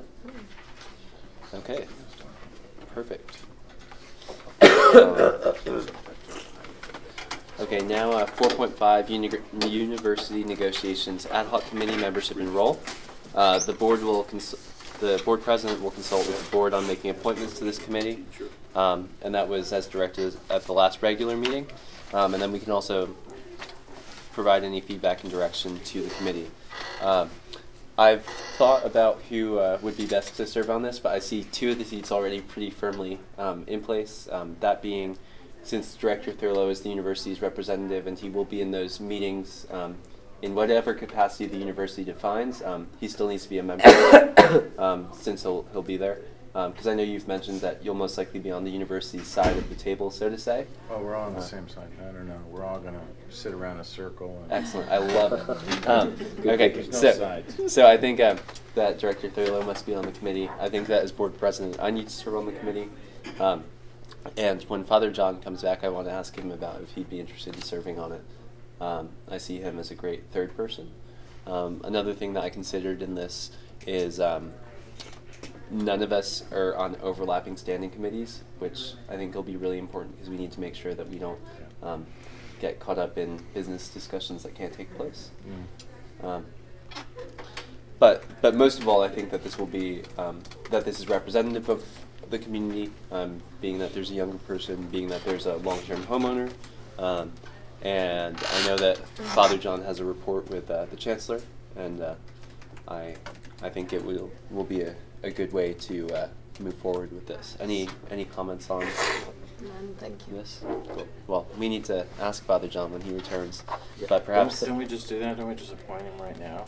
I need to ask him. Um, Announce it when he comes Have you guys done that when I didn't go down meeting Yeah, we before? did do yeah. that, yeah. we've already created And- a tradition. Yeah. Just point well, out and, we're not we, here. And, and we designated That the was a board joke. president to make appointments, so I don't think we need a motion on this. Right, we don't, but I need to consult. Yeah, him yeah. before I do Which- it. yeah, I know. No, I understand, I understand. Okay, but anyway, um, there's other things within this item that we can uh, discuss in the meantime.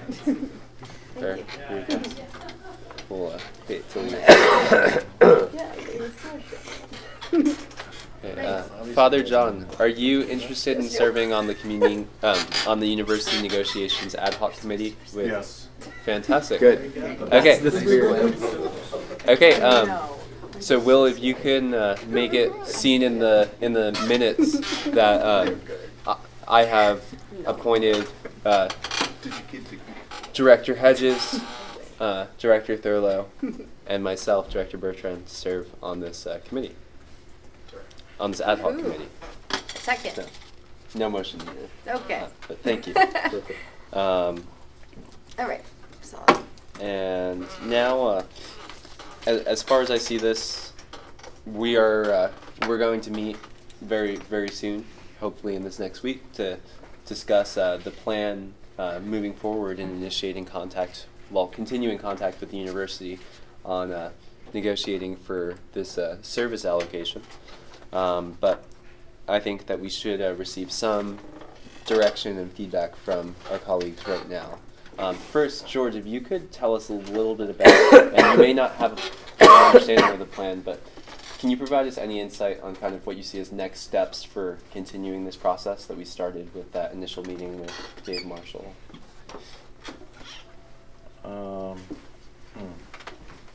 Well, I think what, the only thing I would add would come under four point six, so why don't I wait for four point six? Okay. Um, but I mean, do you have any kind of? I mean, are we just going to see like what the next step is after our committee meets? so we'll report back to the board on uh, on the first steps taken at the Mhm. next at the next meeting. I anticipate what we're going to do is um, I'll inform uh, the chancellor and uh, and David Marshall about um, this action that was taken and who's serving on the committee, and that we look forward to meeting soon um, to continue our discussions. Um, and we'll meet in the meantime to uh, Awesome. discuss what we'll bring back to the board. So, any other uh, discussion on this item? you guys are gonna do great. Thank you, uh, Director Freeman. Um, so the, so we're gonna be doing these town halls in order to provide guidance to this committee in terms of what they are Well, doing. to provide guidance to the whole board, but To whole- yes, yeah, yes, to the whole- yeah, it'll be very helpful And- for and- committee and members. particularly helpful for this committee, Yeah. okay. And so uh, I'm, I'm, I'm not going to hear that you're gonna have a meeting and then before we even have the town hall, a decision will be made on anything? No, we'll, we'll certainly be meeting, um, but Okay, cool. we look we look forward to the town hall. Um, any other comments? Any public comment? Okay, um, if that's it, we'll uh, close this item and look forward to reporting back to everyone soon. Um, now, 4.6 request funding for administrative needs of the district. Um, I expressed the initial idea for this uh, at our special meeting last week. Um, again, something that came out of the the meeting with um, the executive vice chancellor and other members of the coordinating committee. Um, and the idea here is that we um, request that a certain allocation of our um, annual allotment of $200,000 for the mutually agreed upon services goes towards necessary administrative costs um, that must be paid for before we can move forward to contracting for a service. Um, and some of these things may include insurance for the board and the district, office space and equipment, um, and then also if there were any like uh, perhaps accounting fees, um, should that need to be covered. Um, things that are absolutely essential for us to move forward with providing these services. Um, it was clear that this will not go to any sort of administrative staff. Um, and of the members who were present at the meeting that we had, most were favorable for this. Um, and ultimately, we just see this, those of us who have discussed this see this as something that's essential. I mean, we wish that all the money could go right to services, but um, we can't get to those services without paying for these basic items. Um, so that's pretty much how I'll set this up. Um, I added this one, and what I'm asking for is for um, the board to direct me or to authorize me to uh, submit a request to the chancellor um, for um, an initial percentage of, of the allotment uh, to be used for administrative needs. Um, and I think we should discuss what that number might be. I know the number that's been thrown around is 10%, so that would be $20,000. Um, I'd love to hear feedback on that. But Director Brandt? Well, so I know we talked a little bit uh, at the special meeting when this came up about, because my initial thought was that 10% for administrative fees sounded sort of low. And then there was a comment made. I don't remember who made the comment, but it was, yeah, I know, right? Uh, but there was also the, the comment made um, that it, there 10% might have been the number that was calculated in because then the university has to file things differently. And so, um, I mean, And I'll I, just real quick. I'll say um my my response to that then was that ten percent was thrown around pretty loosely. Would you right. concur with that? Yeah. Okay. right. So it wasn't calculated. Just to respond. Yeah, so I mean, I, from both a negotiation standpoint and from, uh, you know, wh- what I think our district needs right now, I, I think that a cut that's larger than ten percent would be advantageous. Um, whether we're talking about office space, uh, which the number that's been thrown around for that is uh, fourteen thousand a year, uh, or whether we're talking about supplies, which I imagine could total up to probably three thousand. Insurance, we haven't even got quotes back from that. We don't know how much that could cost. Um, I think that the more that we can get from these administrative things, the better. Um, because one of the things, you know, and I'm going to keep plugging anything that's administrative because of the fact that we, we we- we're trying to move forward on these services, and that's great. But we're going to keep getting bogged down by the process if we don't have that solid administrative, or not even just solid, just some sort of administrative thing to back us. And so, I think that in that, on, on with that, the more the merrier for that administrative, which is probably the same thing. That's the kind of quote that I know uh, the opponents of this district uh, would love to go and run with. But you, let me just clarify. You're not asking for a staff person, are you? No, no, Okay. no. I'm I'm saying that I think the cut should be higher than ten percent. Okay. Uh, Director Freeman and then Director Thurlow. I, I feel slightly uncomfortable putting a final number down on anything without some kind of budget. One could imagine, for example, that we decide to ask for ten percent, we get twenty thousand dollars, and if only we had twenty-five thousand, we'd be fine. As particularly when there's kind of like some flexibility, it sounds like, with, with, with what it is. I don't know if there's any way for us to ask for a, a flexible number? Yeah, I wouldn't have thought would- so. I would- Yeah. no, I would- I, I would just be much more comfortable if only if we could like quickly, maybe like I know formation committee's been looking at, for example, the cost of insurance and office and everything. If they could do a totaling of the money that they think that we would need, and then that we we have that number as input to our decision of what to send to the university. Well, I think you got that. Um, and plus, I think we need to be continuing to work on other sources of funding we can. And, and, and this is, I, I just want to emphasize, that this is an incredibly creative way. Oh, yeah. That we've come up with a way, because this is outside of the area of programs. And this is what, in the very, very beginning, some, some people were very, very concerned about, that the university's money was all going to be taken up with stuff that provided no services to, to ultimately students. So, um, I mean, I, ten percent was just something that was pulled out. I mean, it could be fifteen percent. Um, there is another idea too. There's some people, um, who are on the money side who are talking about the potential necessity of the district, um, to need the university to front load its commitment, not unlike it has front-loaded its money that it's paying to the county. So for example, we were supposed to pay a million dollars over uh, ten years to the county. We we paid half of that in two years. Um, so, but I think it has to be there has to be a demonstrated value to this, and the, the third rail is staff. There's just real. That's just not where you want to go. So. I mean, I, I- I think if you came back and said a fifteen percent, which would be thirty thousand, uh. I think that's realistic. Fifteen percent?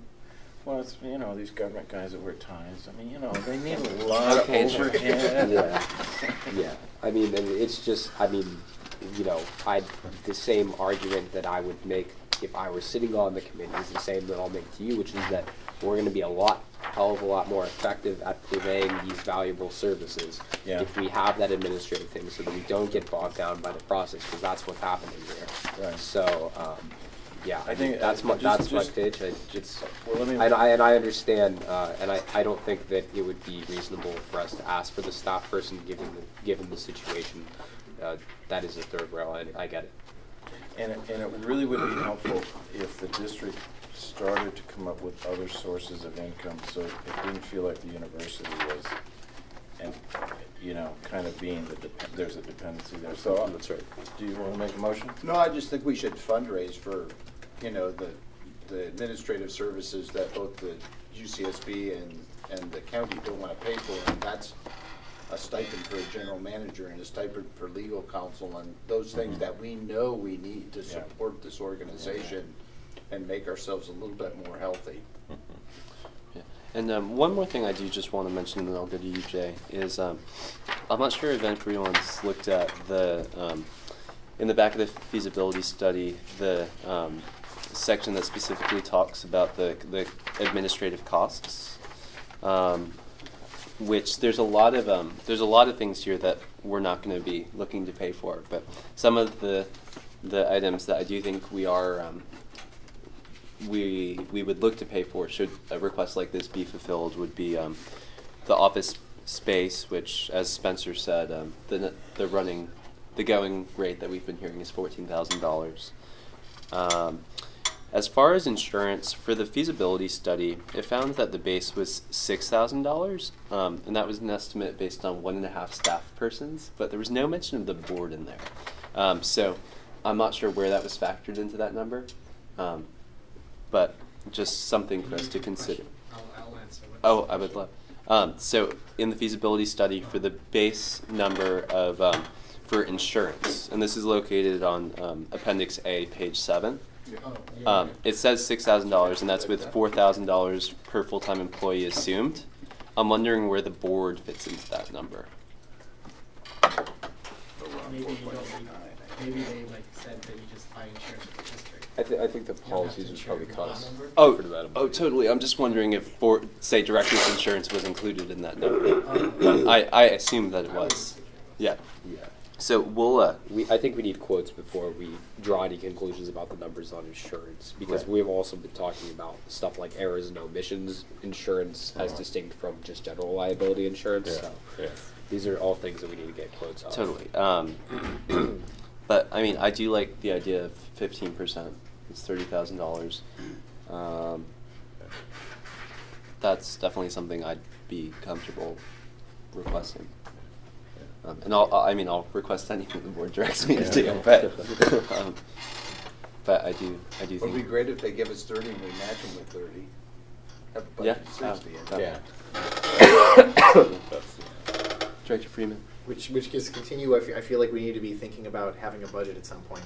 Because, Yeah. I mean, even, even fundraising, there are other things we need to be fundraising for, such as an election, so. Didn't we recommend that go to a committee, the budget?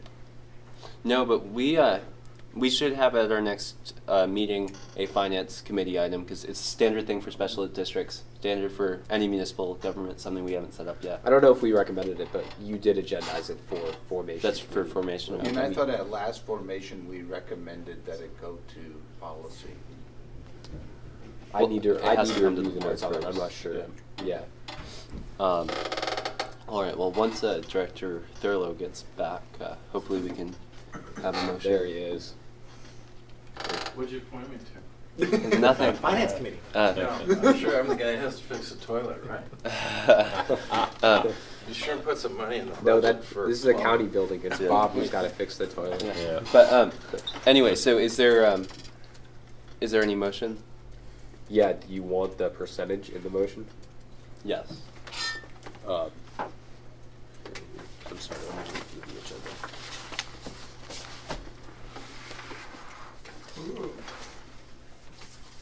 Uh, I move to authorize the University Negotiations Ad hoc Committee to negotiate for administrative needs of the district. Um, Can I, can I, with the request of a fifteen percent administrative fee charge. can I, can I offer a friendly amendment? First, let's get a second. Are you going to second this and try Sure, to co-author? Okay. Let me second it, can I done? I think we need to direct the president to send a letter immediately to the university requesting that uh, the university grant the CSD a fifteen percent administrative fee in order to, to um,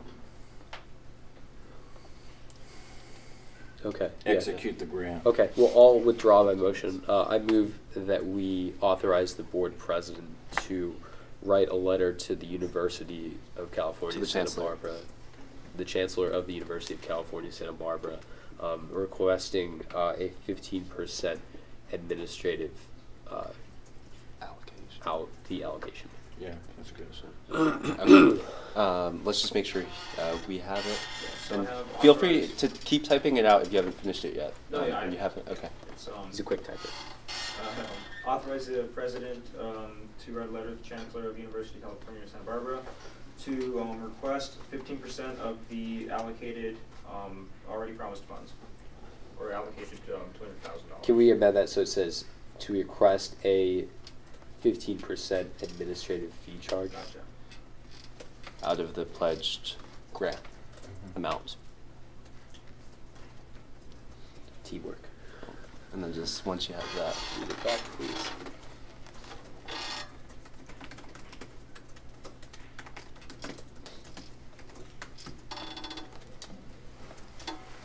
All right, so I have authorized the president to write a letter to Chancellor UC Santa Barbara to request a fifteen percent administrative fee charge out of the pledged two hundred thousand dollars.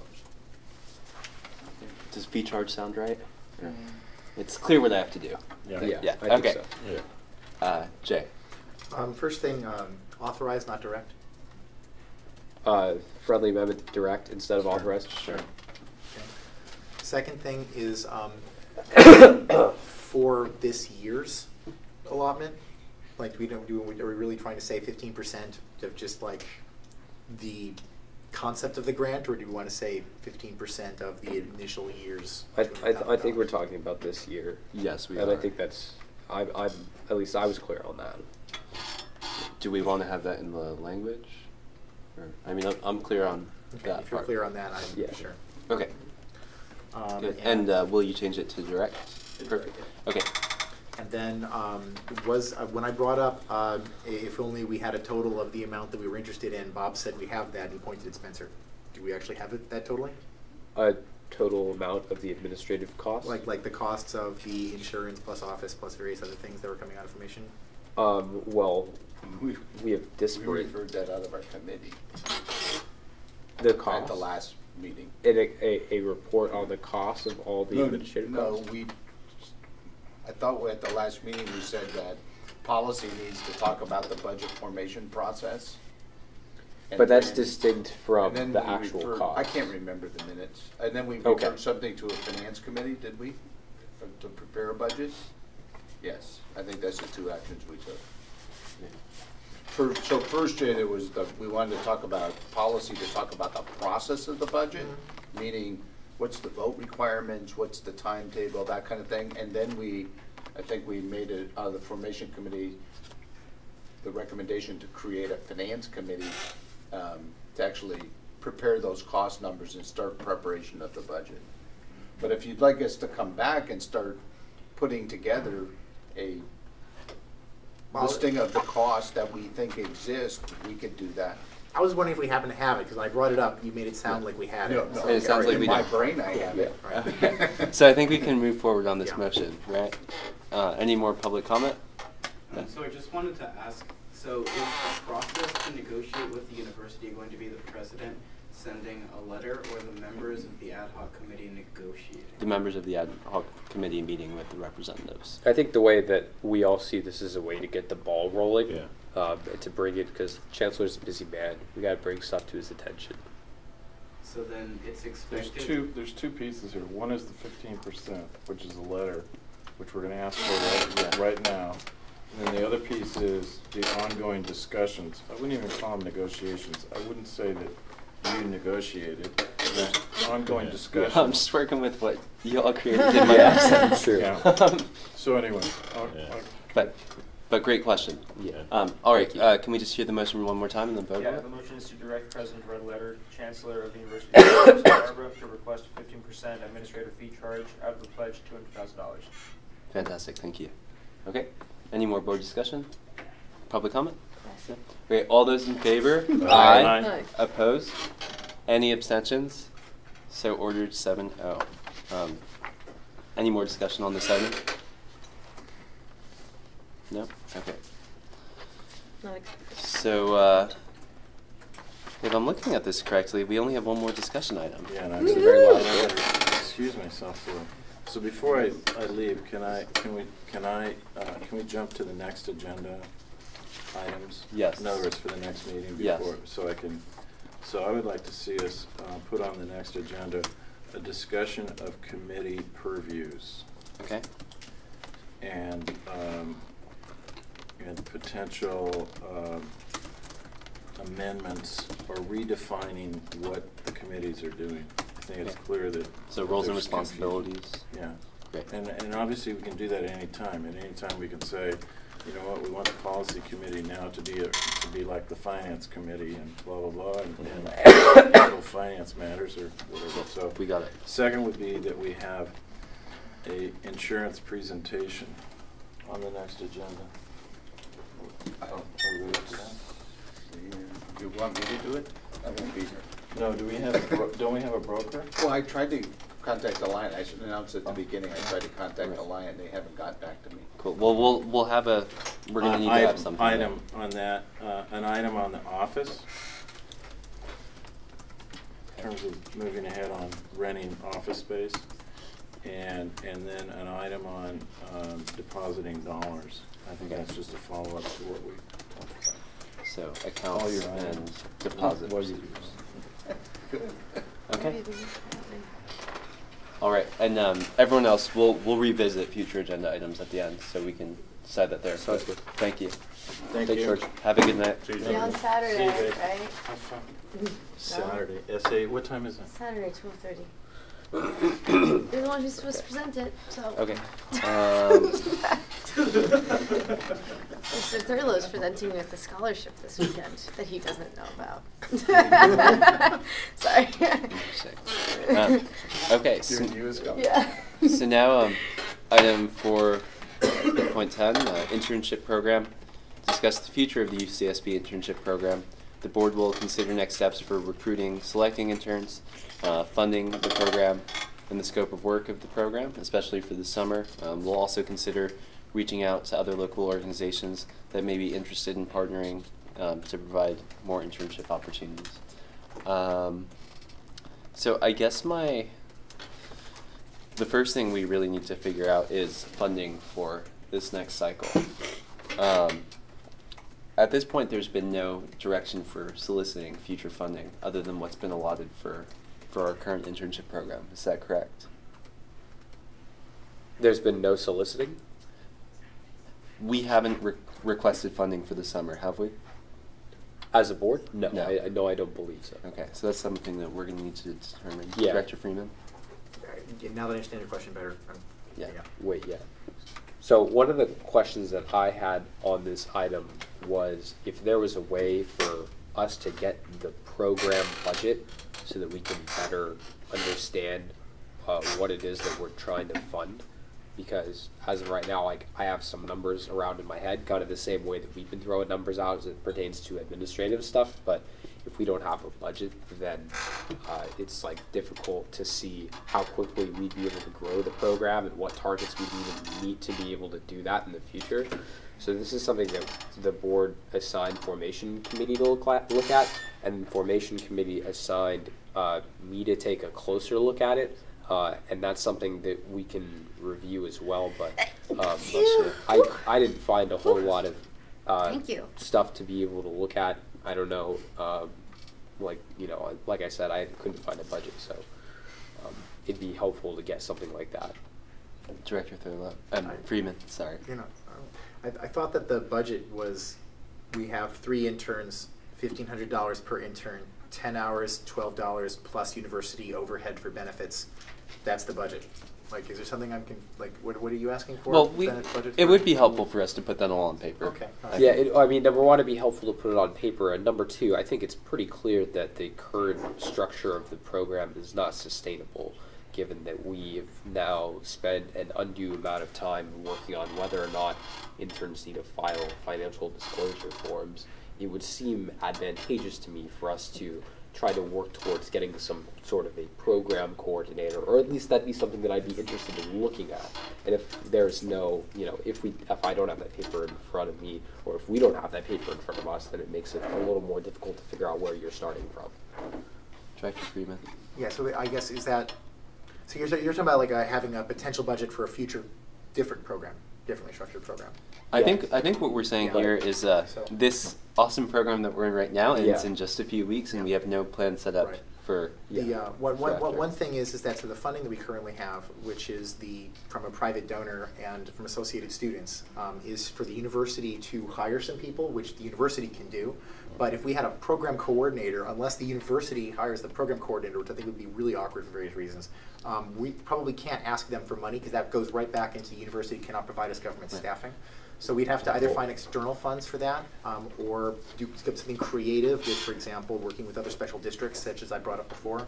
But And one thing I'll say in putting this item on here, I'm not looking for a program coordinator. I'm just looking to see how we can sustain what we have right now. Because right now, again, we have no plan for that. Um, So. Director So, in, and E- Director E- Jordan. Ethan, um, in, in our formation committee, we d- didn't focus on funding at all. It was in my brain, I'm saying, oh, the funding's gonna go forward. Right. But maybe that's not the case, and so I guess we should reach out to the university and ask them if they're gonna fund summer quarter. I know Spencer and I talked, talked, we were the only two in formation committee, and we talked about, well, how many people could we handle under the current, you know, status, and, you know, thinking maybe we get an acting general manager, and maybe we get legal counsel by the time they started, you know, we still thought with the number of directors in the summer quarter, maybe we could only handle three to five interns, you know, not expand to ten and not approach, you know, Santa Barbara Community College and try and start up another internship program with them that we get in over our head. So, I mean, the three that we have are great. And if we had five, maybe we could handle that over the summer when, you know, I don't know, people probably have jobs, so. Um, But I guess if the first thing is to ask for funding, then I say we reach out and ask for funding for the summer quarter and suggest for three to five interns. Okay. And where, do you have an idea of where we should ask for the funding? Who do, who did we get the funding from before? We asked the A pri- university, right? From a private donor and then associated students. Well, that's what they say, it's a private donor, but I, I, I don't know, it's from the university, right? Should we ask Associated Yeah. Students again? I mean, yeah. uh, Are you able to? Um, talk on am I okay? Is, is Yeah. everyone okay with me speaking on it?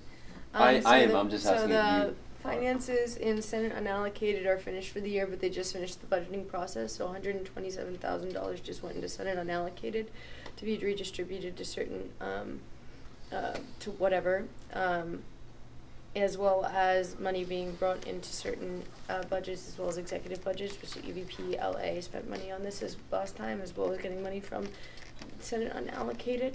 Um, so because the the year is technically oh the finance and business the new finance and business board won't meet until the upcoming year, but we're technically into a new budgeting. Fi- we're into a new fiscal year at this point because of the budget being approved by the Senate last week. So um, I could find out about if a request would go through, but I'm pretty sure we'd be able to make it work. But it would just have to be within the next two weeks. Do we Well, ask- that's when do we we said ask we for I have a some- do we ask for that. summer and fall or just summer? You can oh, request the thing about Associated Students is that if you have a request like an event in the in the spring, you can request money in each of those different time periods. Yeah. But the thing is, because of it being a specific program and not pr- part of an Office of Student Life organization, an executive would probably need to come propose it or something like that. That's so right. working with a new EVPLA is really important in getting this completed. Yeah. Wait, so I have a question. So that one hundred twenty-seven thousand, that's get the new budget. money, that's for second. fiscal year seventeen, eighteen, or that's unallocated from this past year? No, that's the okay. That would be a rollover. That's that's different. So Senate unallocated, which basically means that like we have all these monies. We've got these lock-ins. We receive a certain amount from students. Yeah. Right, and then from there they sh- shake everything down into each of these boards, commissions, units, and all of the like DSP caps, everything. Right, and then from there the remaining balance goes into Senate unallocated, which is basically kind of like a surplus fund of what finance and business is. So finance and business allocates a certain amount of funds to the Office of Student Life, but all of those minutes are still approved by the Senate. So the Senate maintains a certain amount where it can, it can override exceptions to the finance finance and business code, and also um, provide money or like uh, approve finances or approve money for executives when executives would never go to like the finance and business committee because they're not an OSL organization, but they still need those finances approved outside of their regular budgeting. Yeah, no, I get that. My question was, that's for fiscal year seventeen, eighteen? Let me just check the date. I could find out in just two seconds while I look in my minutes. Sorry. Thank you. Mm-hmm. I, I, and maybe you did answer my question. I'm just making sure this isn't like Senate has a one hundred and twenty-seven dollar thousand pot that they have to spend by the end of this by the end of this Senate year. No, no, no, no, no. Okay, okay, just making sure. Um, yeah, and the new budget too. Um, yeah, I can get the exact amount, but it doesn't really matter. It's just more to the point that they have money, but it's just more of like having the executive support you and how much we need. I don't think they're going to provide the same amount as a donor would. There's no way, because of a lot of other reasons. But um, also, each of the boards, commissions, and units can also give money to certain projects. So, like, if theoretically, like, like if we were to throw this forum and it cost money and we wanted to have the women's commission involved in it, they could also pitch for it. So certain boards, commissions, and units can work towards each That's right. project to get money. So it's just a lot of asking for funding, but it's a pretty simple way to gather funds for small things. Mm-hmm. so do you have advice on action that should be taken in these next two weeks to try to get funding? Like any anything specific that that perhaps should be made in the motion to me? Um, we would need to act in. qu- Can you come back to me in about thirty seconds once I find the budget? Sorry, thank you. Um, Director Grant. Yeah, well, I mean, I I guess I'm still a little confused on the university funding of this program. Is that when you know it, what is the process by which we have to ask them if they are willing to continue funding this program into the summer quarter? We just write him a letter and said, "Yo, do you have a donor?" Is that a thing? well, well, one thing I'll point out is in the memorandum of understanding of understanding that we have um, entered into, it does make it clear that this program is intended to last through the summer months. Okay. Uh, we've had some uh, questions about when that ends, but Okay. we've made it clear that it it's pretty apparent that it, it is expected to go beyond uh, the end the end of spring quarter. Okay, so then So what maybe is we the just what is write the them a letter finance and issue? clarify funding for the summer quarter. Well, there's been no funding allocated. Oh, I thought it went through the summer quarter. The program does, but it says um, wait. I actually I have a copy of that. Right here. Wait, so there is a Yeah, yeah, finance it- George very explicitly even stated like, well, we don't have money past spring. Yeah, yes, he did make that explicit. Okay, but we were talking about the finance issue, and we were talking about that later. So sorry, I got confused. Yes. Okay. Um,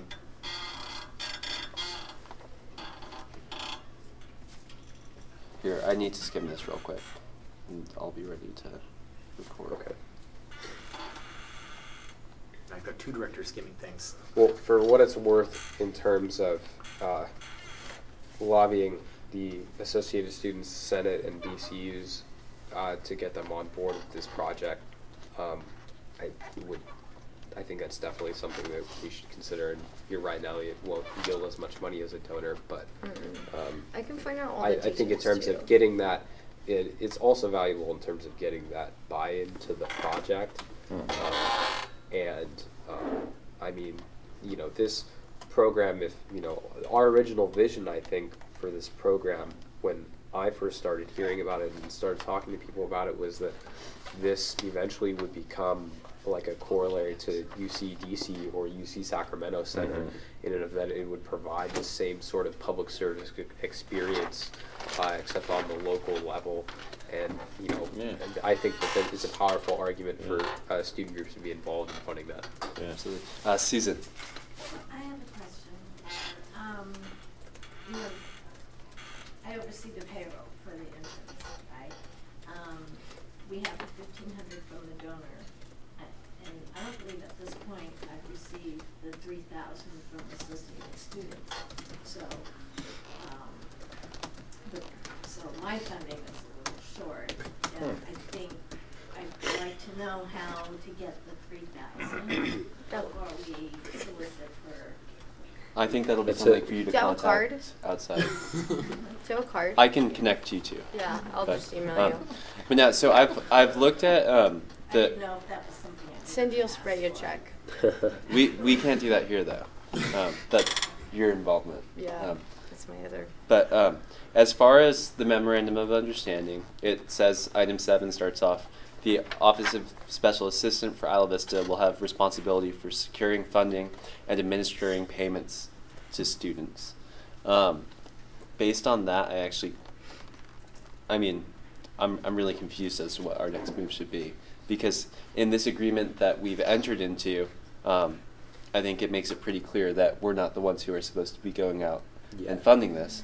But then also we haven't received any, any, uh, anything from Office of the Special Assistant to say that funding has been secured. Um, I and would say we should just contact them and ask them if funding has been secured for the summer. I agree. Mm-hmm. I love that, but we need to figure out who to contact because um, we. I mean, Susan. Is it okay if I? Yeah. That's a, Contact Dr. Yeah, I'll let you know if we have the money uh, okay. I I just I'm just saying. Because I know we can't. Uh, the actual special assistant is our board colleague who we Yeah, yeah. can't contact on it, but it's okay if I contact you. Sure. Thank you. Yeah. Okay. And also, just to let you know, you know, I don't know if you already know, but, um, some of the interns, they're, they're, they're, they leave after the spring quarter. You know, Right. it's not like the Yeah. interns you have now are, are, may necessarily Definitely. three of the five that you intend to have in the summer. Absolutely. No, thank you, and that's um, why it's important for us to talk about um, the recruitment um, going forward. Um, and so, but so I think there might be a, a bit of different parts of the direction to come out of this. But one thing, um, if you all want to direct me, I will contact the Office of the Special Assistant to inquire about um, funding that has been secured or is being secured for for the internship program for the summer months.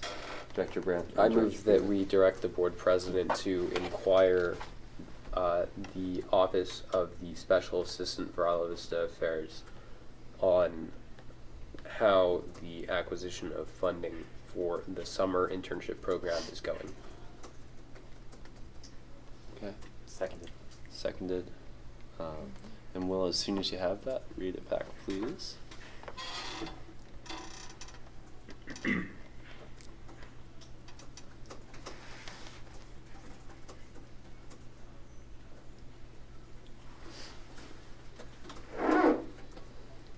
So I have direct president to inquire the UCSB Office of the Special Assistant to determine the funding for the summer session of the internship program. Um, Director Freeman. Um, can we have ask thee instead of inquire?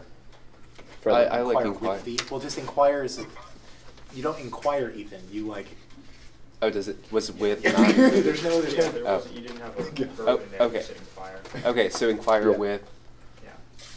Um, and then I heard determine, that wasn't part of the motion. What, what part was that? Determine the funding, um, whether or not funding still exists. Okay, so read, For now. read back that last part. Yeah, um, so, uh, direct president of the, um, direct president to ask the university or the UCSB Office of the Special Assistant to, uh, determine the funding for the summer session of the internship program. Should I remove determine and switch it to I think he asked for inquire with as inquire opposed to with? ask. Okay.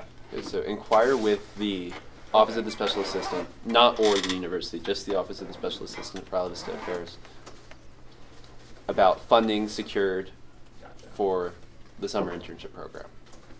That's friendly. Essentially it.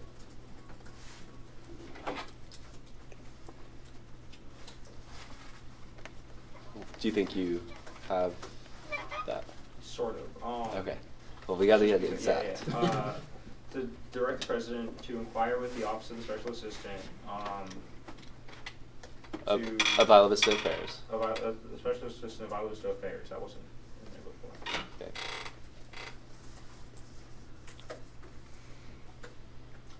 Uh, the spe- ah, Special Assistant of Isla Vista Affairs, um, regarding the funding of the summer internship program, summer session of the internship program. Yes. Gotcha. But is it written exactly how you just said it? Yep. Okay. I'm comfortable with that. Are you all? Yeah. Mhm. Okay. Um, and again, that was made by Grant. Made sec- by me, seconded by Jay. Freeman. Okay. Any public comment? Uh, go ahead. So if funding of request to this AS Senate needs to be made within two weeks, does this action give the board enough time to reconvene and then potentially vote on that? Well, what we just No, determined based on the MOU is it's not our role to do it. It's more our role just to make sure, just to know what's going on. Because um, while I, I would have no problem being directed to go to Associated Students to solicit funding, it would be breaking with the system we put in place um, for the Office of the Special Assistant to do it. Also, they sh- could they they have to be doing it inter- inter- interdependently. Like we can't go because we're not part of the university. Do you get what I'm saying? So like the E EVP at LA can, Ethan can't. Do you get what I'm saying there? We're not an organization that's under the purview of the university. So I guess my question is then if the response is that there hasn't been any real attempt to secure funding, what is the step from there? Because What do you mean? Well, I think we cross that bridge when we come to it. I mean, Yeah. I think it's clear in the MOU that it is the responsibility of the OSAIV to attain funding. Yeah. And we're just trying to figure out what that is. And then I think it's also clear that everyone up to this point has made a really good faith effort to make this work. Um, so um, Definitely. I, uh, I, if if for some reason funding turns out not to be available, I don't think that would be the fault of our partners. But I have no reason to believe it's not going to be available. Director Freeman. And the, the letter is apparently being sent to Susan, who already has heard us talk about this, but I will just bring it up maybe, um, we, otherwise, if it weren't to have been her, we could have explicitly stated in the letter, um, something about asking associated students for money, just to, like, to, just to give them some direction. You can imagine if, if they weren't in the room hearing us, they could receive the letter and be like, no, we haven't. It's like, oh, well, instead they receive a letter that says, have you looked into the funding yet? Um, we were hoping you might have talked to associated students. They might go, oh, okay, we can do that. Yeah, I think we're good. Yeah. Right. Any other board discussion? Any other public comment? Just have Susan. another question. Um, the Of course. responsibility of the, um, Office of the Special Assistant to secure the funding, does that, I mean, we have to do it in order to pay, because the payroll is out of UCSB. So is that what secure is, or is the responsibility to secure mean that we go solicit, we have to find the money and get it? Oh, I think absolutely finding it. That was um, how it was presented to this board. Certainly. Um, ye- uh, unless, does anyone else have a different interpretation? Mm-hmm. I mean, I think that's a really good question, but um, that was always uh, our our understanding, to my knowledge, uh, Director Freeman. The word secure would make me believe that you're correct, but I, as far as I'm concerned, we, it was not presented to the board. I have no clue what that means. Okay, I I thought mean, it was. I- I- Alright. I think kind it of agree definitely with you, was. but- It- I think it really was. Uh, Director Hedges, did you? That was my understanding too. Cool.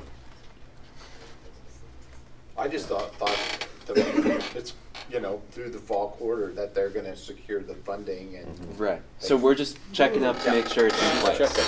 Just status check. Mm-hmm. Certainly, the, the precedent has been set that before Associated Students was reached out to by OSAIV, not us, and the other funding was secured by OSAIV. And so since that also falls in line with the word secure, it does seem like, like, based on how I would then want to read that contract, I would say, yes, you're supposed to talk to Associated But Students. th- not then I would, s- uh, I would assume we're not gonna expand this program over the summer unless we ask them to get more funding for five. Right, I think we should keep the, the current. Just at three. cohort. I do. Um, and that's something we can discuss here too, I mean, I think if we were to expand, it would, um, be dependent on more directors, uh, getting involved. Yeah. Which is something that I think we're, that would be totally cool. Um, hasn't entered the discussion Yeah. yet though. Is, is anyone who do- isn't currently look, working with an intern looking to? Or is anyone who is currently working with an intern looking to discontinue? Looking to continue. Looking to continue, Looking okay. to continue. Same looking to continue. Is anyone else looking to begin? Yeah, I have a lot of personal stuff happening this summer, so it wouldn't be worth it for me. You don't want to take your intern with you on lake trips? To Ireland? Golfing? You're going golfing in Ireland. Yeah, why not? Can I come? Awesome. Thanks for your invite. Um, okay, um, so anyway, just read this back to us one more time and then we'll vote. So it's to direct the president to inquire with the Office of Special Assistant of Isla Vista Affairs regarding uh, the funding for the summer session of the internship program. Fantastic, okay. Uh, public has commented, nothing more. Okay, no more board discussion. All those in favor? Aye. Aye. Opposed? Any abstentions? Uh, so ordered, so that's six oh with uh, Director Thurlow um, absent. Okay. Now, within this, um, I would like if I could receive some direction to uh, contact the Department of Political Science to initiate the recruitment process for um, for this for the summer. But also within this, um, we need to talk about are we going to have any um, carryover, um, which I think there could be a lot of benefit for carryover should any interns be available and interested in continuing their service. Um, Director? Um, I, see that, assuming Mike. I understand by carryover, I think that that is, uh, very valuable because you would get, the, the intern gets to the point where they understand the operations of the district, they understand the, uh, um, the ways in which, um, are like the kinds of services and challenges that we have. I mean, um, maybe they don't want to do it, but providing some kind of, um, priority or mechanism by which interns who wish to can choose to do so would be great. Absolutely. Um, anyone else have any thoughts on that? No. I think carryovers would be Yeah, great. I echo, Yeah. yeah. I mean, I don't want to put anyone on the spot in this room, but are there, out of the interns here, is anyone, A, planning on being here for the summer, B, um, interested in continuing? And you're not required to answer this question, but it could be helpful to informing this process. Um, I'm probably not going to be here much longer after like July So. Okay. Okay, so we're going to have at least one opening. I will actually be here for um, session A and B, and I'm more delighted um, in actually continuing on. Uh, I think it'd be really, really cool during the summer. Awesome. Yeah. Cool. That's all I need to hear. Okay. Not an interview or Yeah, anything, yeah, but just yeah. to know, know who's in town and Yeah, who's not. okay. Um, Yeah. So, so with that, we can assume that there, there will be at least some recruiting that needs to be done. Um, so, Director Brandt? Yeah, I have a motion. Okay. Uh, I move to authorize the board president to work in consultation with the Department of Political Science um, to develop the How about to initiate the recruitment To initiate the process. recruitment process For the summer internship. for the summer internship program. Phew. Bless you. Bless you. Thank you. Including Whew. interns willing to carry over, should we add that? We should leave that out. Leave Because, there's a chance that the Department of Political Sciences are not our students, are not our problem. Oh, Because they graduated, potentially. Well, I think I, I know what I needed to know. Yeah, Yeah, You know I'll, what uh, I'm saying? I'll, Yeah. Yeah, I mean, I the have MOU information. says that the DPS works It in doesn't- consultation with Whatever us, you want to so, do with it, yeah. you know, Cool. doesn't matter to so, me. uh, Will, if you could just read it back Yeah, to so us. I have authorized the board president to work with the Office of Political Science to initiate the internship recruitment process over summer session, For the summer for the summer session. session. Perfect. And, uh, Session or sessions plural? it's considered one session on the academic It's term. C, right? Yeah, It's, the session whole C. thing is considered, like when you look at, um, uh. No, he's, he's right, I was looking Yeah. at this earlier. Cool. Um, Is there a second on Wait. that motion? Second. Thanks, Nat. Cool. No problem. Awesome. There was one uh, one part there that threw me off. Um, So I have authorized the board president to work with the Office of Political Science to. oh, Department of Political Science. That was it. Department. Yes. Gotcha. Cool. Thank you. Um, friendly. Friendly? Yeah. Great. Um, any uh, public comment? Any more board comment? And and then there's the word initiate, right? Yeah. Great. Okay. All those in favor? Aye. Opposed? Any abstentions? So ordered, 6-0 with uh, Director Thurlow absent. Um, all right. Anything? Any other direction we want to give with with this item? None. Not that I have. Okay. Um, so I will uh, immediately uh, contact both the OSAIB and Department of Political Science regarding these matters. Thank you. Um, are we ready to move past this agenda item? Mhm. Okay. And I'll also say that in uh, in my discussions with Department of Political Science, I'll I'll say that we're looking to largely maintain the same structure that we have um, with the same directors working on the program. Cool. And yeah. All right, now uh, future meeting dates and future agenda items. So, as uh, Director Thurlow started earlier, we'll have community uh, roles and responsibilities, um, discussing insurance, and hopefully receiving a presentation from um, insurance, uh, and then office space, both acquiring and supplying it, and um, a discussion on um, accounts that the CSD has and um, procedures for deposits and withdrawals. Awesome. Um, yeah. Anything else? I just have one simple question, you know, we had our special meeting and we got into that voting requirement that when you have a quorum of five, you really have two no votes against you already for the people that didn't attend, because you had to get it, is, is that, is that a standard rule? that- Yeah, that's per law. Um, That's, that's per law? For Government what- code. For what Quorum? law? Are you talking about the quorum? CSD Yeah, quorum. I just looked at it. Yeah, yeah. So, um, so Well, regardless. you don't have to explain, I don't know if it's on Oh, the okay. agenda, we can explain it, yeah. Oh, Yeah. that's, he wants it on the agenda, just to explain. Oh, you want it on the agenda? No, I don't need it Oh, on the okay, good. If, it- if we're all right to discuss it. I'd be happy to send you the code piece if Me you want. That'd be too. cool. Okay. I'd like to read it. Okay, that's fine. Um, All right, awesome.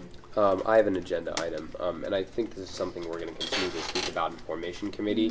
So, uh, it might mesh well with whatever recommendations the committee puts forward, if they put anything forward, but in any event, I think that we need to have an item about, uh, recruitment of a general manager.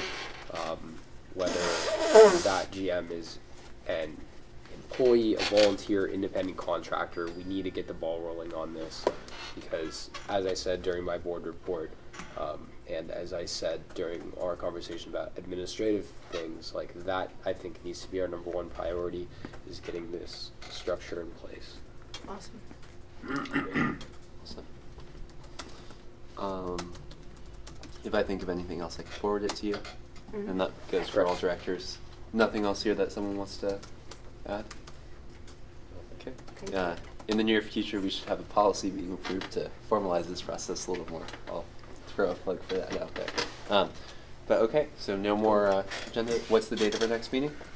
Um, the next meeting, the next regularly scheduled meeting is June sixth, uh, two thousand seventeen, uh, and it'll take place in this room. Same time, same place. Uh, When is it? June sixth. April, May. Yeah. And uh, but then the Which- special meeting of the town hall will be on May thirtieth, so that'll take place Correct. before. Yeah. Then. Uh, I move to adjourn. Okay. Second. Second. So m- motion to adjourn made by Grant, seconded by Jordan. Any public comment? Any board comment? All those in favor? Aye. Aye. Opposed? Any abstentions? So ordered 6-0. Uh, Director Thurlow absent. We adjourn this meeting at 9:42 p.m. Thank you.